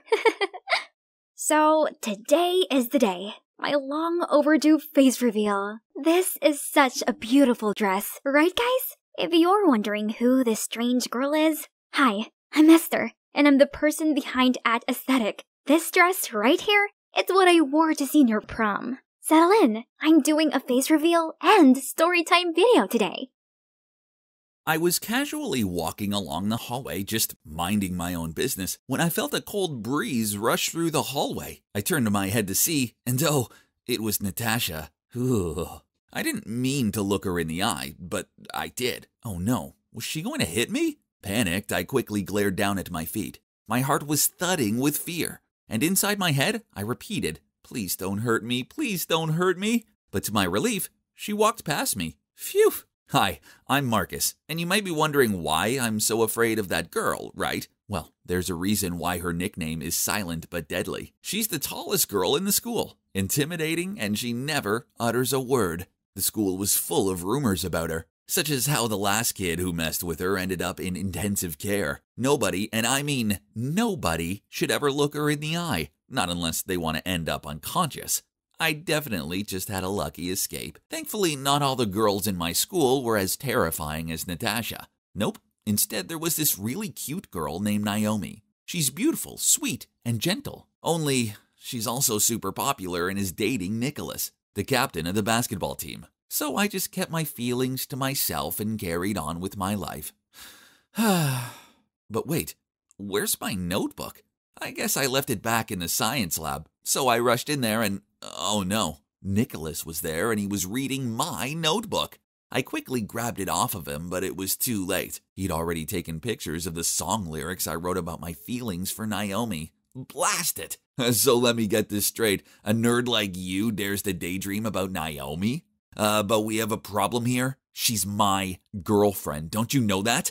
Uh, wait, it's not like that. Uh, I'll stay away from her, I promise. Nicholas gave me this unnerving look. Ugh, no good thing could ever come from a look like that. I braced myself for what he was about to do next.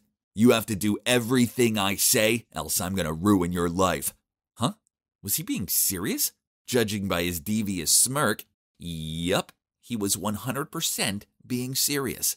I want you to ask Natasha out. Make sure you do it in front of the whole class. What? N- Natasha? That scary girl? How could I? If you say no, the entire school will know about this. Then he waved his phone in front of me. Ugh, that vile Nicholas. But I couldn't risk my song being sent to everyone, so it looked like I had no choice. So the following day, I walked over to Natasha's desk and asked her, Natasha, um, will you be my girlfriend? The whole class was silent. Then they burst out laughing. She glared at me. Ugh, this wasn't good. I winced, preparing for the death punch. But instead, she led me out into a corner of the hallway. Then she gave me this weak smile, followed by a nod. Oh my god, did she just agree to be my girlfriend? This is crazy. It was completely beyond my expectations. But, whew, at least I was still alive, right? And that's how I ended up dating the scariest girl in school. She never spoke to me, not even a word so I just helped her with her studies and carried her stuff around. We also exchanged numbers, but we only chatted through messages.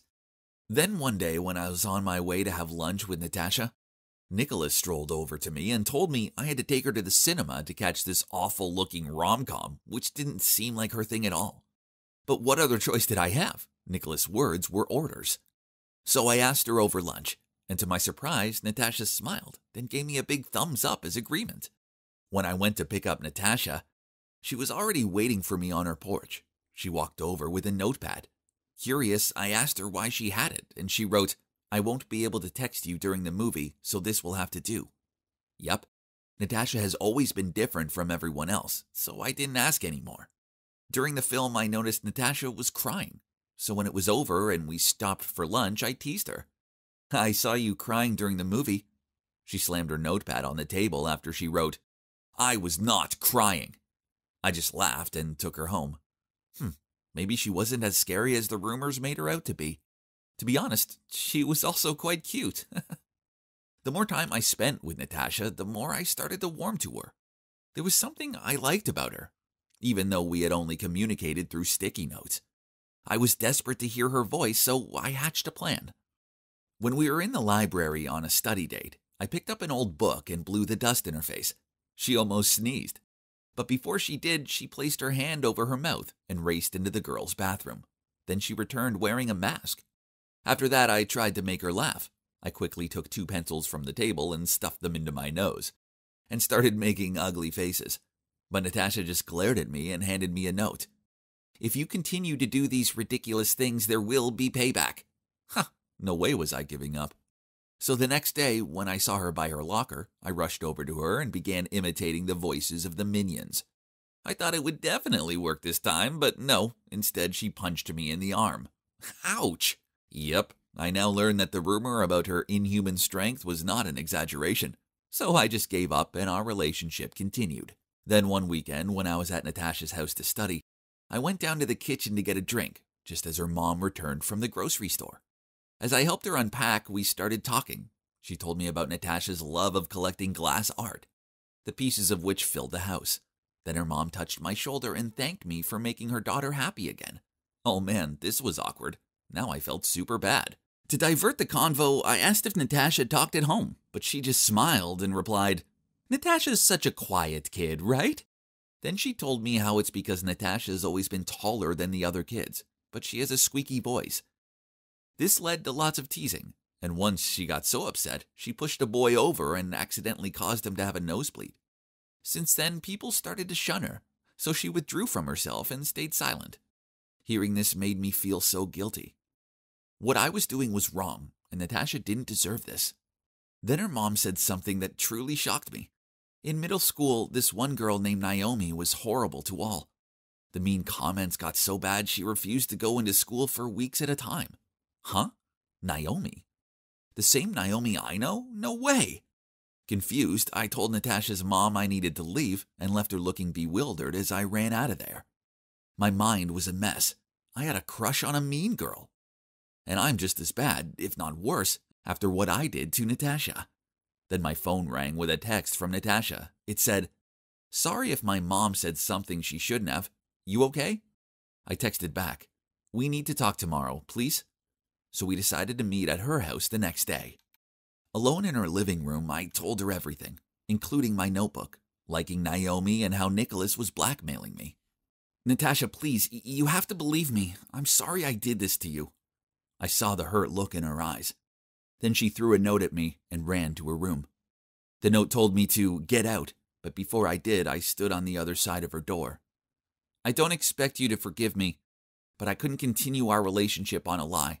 Look, I like you, and I don't want to deceive you anymore. After that, I left, and I also texted Nicholas that I didn't care if he told everyone. I'm done being his puppet. The next day, I expected school to be intolerable, but to my surprise, nothing happened. Instead, I saw that Natasha was trying to sort out her locker. A crowd had gathered around her, and Naomi was taunting her. How does it feel to know that even your boyfriend likes me more? he doesn't like you. Natasha carried on sorting out her books, but I could see that she was fighting back tears. Furious, I pushed past them all and told Naomi to stop. She just jokingly said, You know, if you wanted to date me, you could have just asked. You didn't have to spend so many months suffering with this giant scarecrow. You're right, I did like you back when I thought you were a nice person. But now I know the true you. You're a coward who only feels good when it's at the expense of someone's misery. And I can see why you target Natasha the most because she has two things you'll never have a true kind heart and a loving spirit. After that, I pulled Natasha away and told her how sorry I am. But she didn't even glance at me and just walked off. A few days later, after PE class, I was about to go to the locker room when a classmate, Dante, came up to me. Marcus, help me carry the PE equipment into the storage room, please. I have a stomach ache. He hugged his stomach, then hurriedly ran away. Without thinking much, I packed up the equipment and carried it into the storage room. As soon as I put it down, I realized that Nicholas, Naomi, and some guys from the basketball team were waiting there for me. Oh, well, Marcus, do you really like that weird Natasha? Didn't see that coming. Then the whole group burst into laughter. You have no right to say that to her.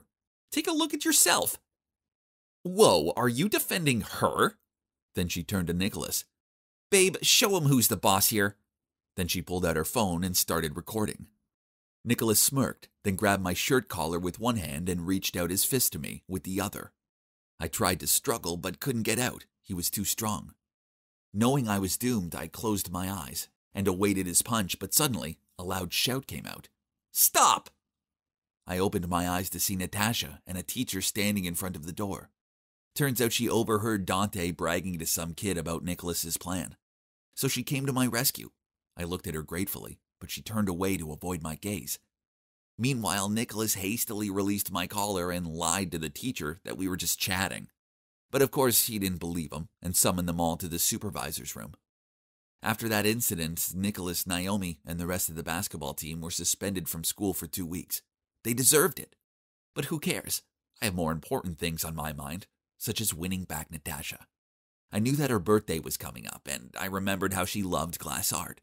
So I bought her a glass art figure of Cinderella's glass slippers with a ticket to senior prom and a card saying, Thank you and happy birthday. I know what you did doesn't mean you forgive me, but I want to be your real boyfriend. So I left you a ticket for senior prom. If you come and dance with me, then I know you'll give me another chance. If not, then I know that it's over.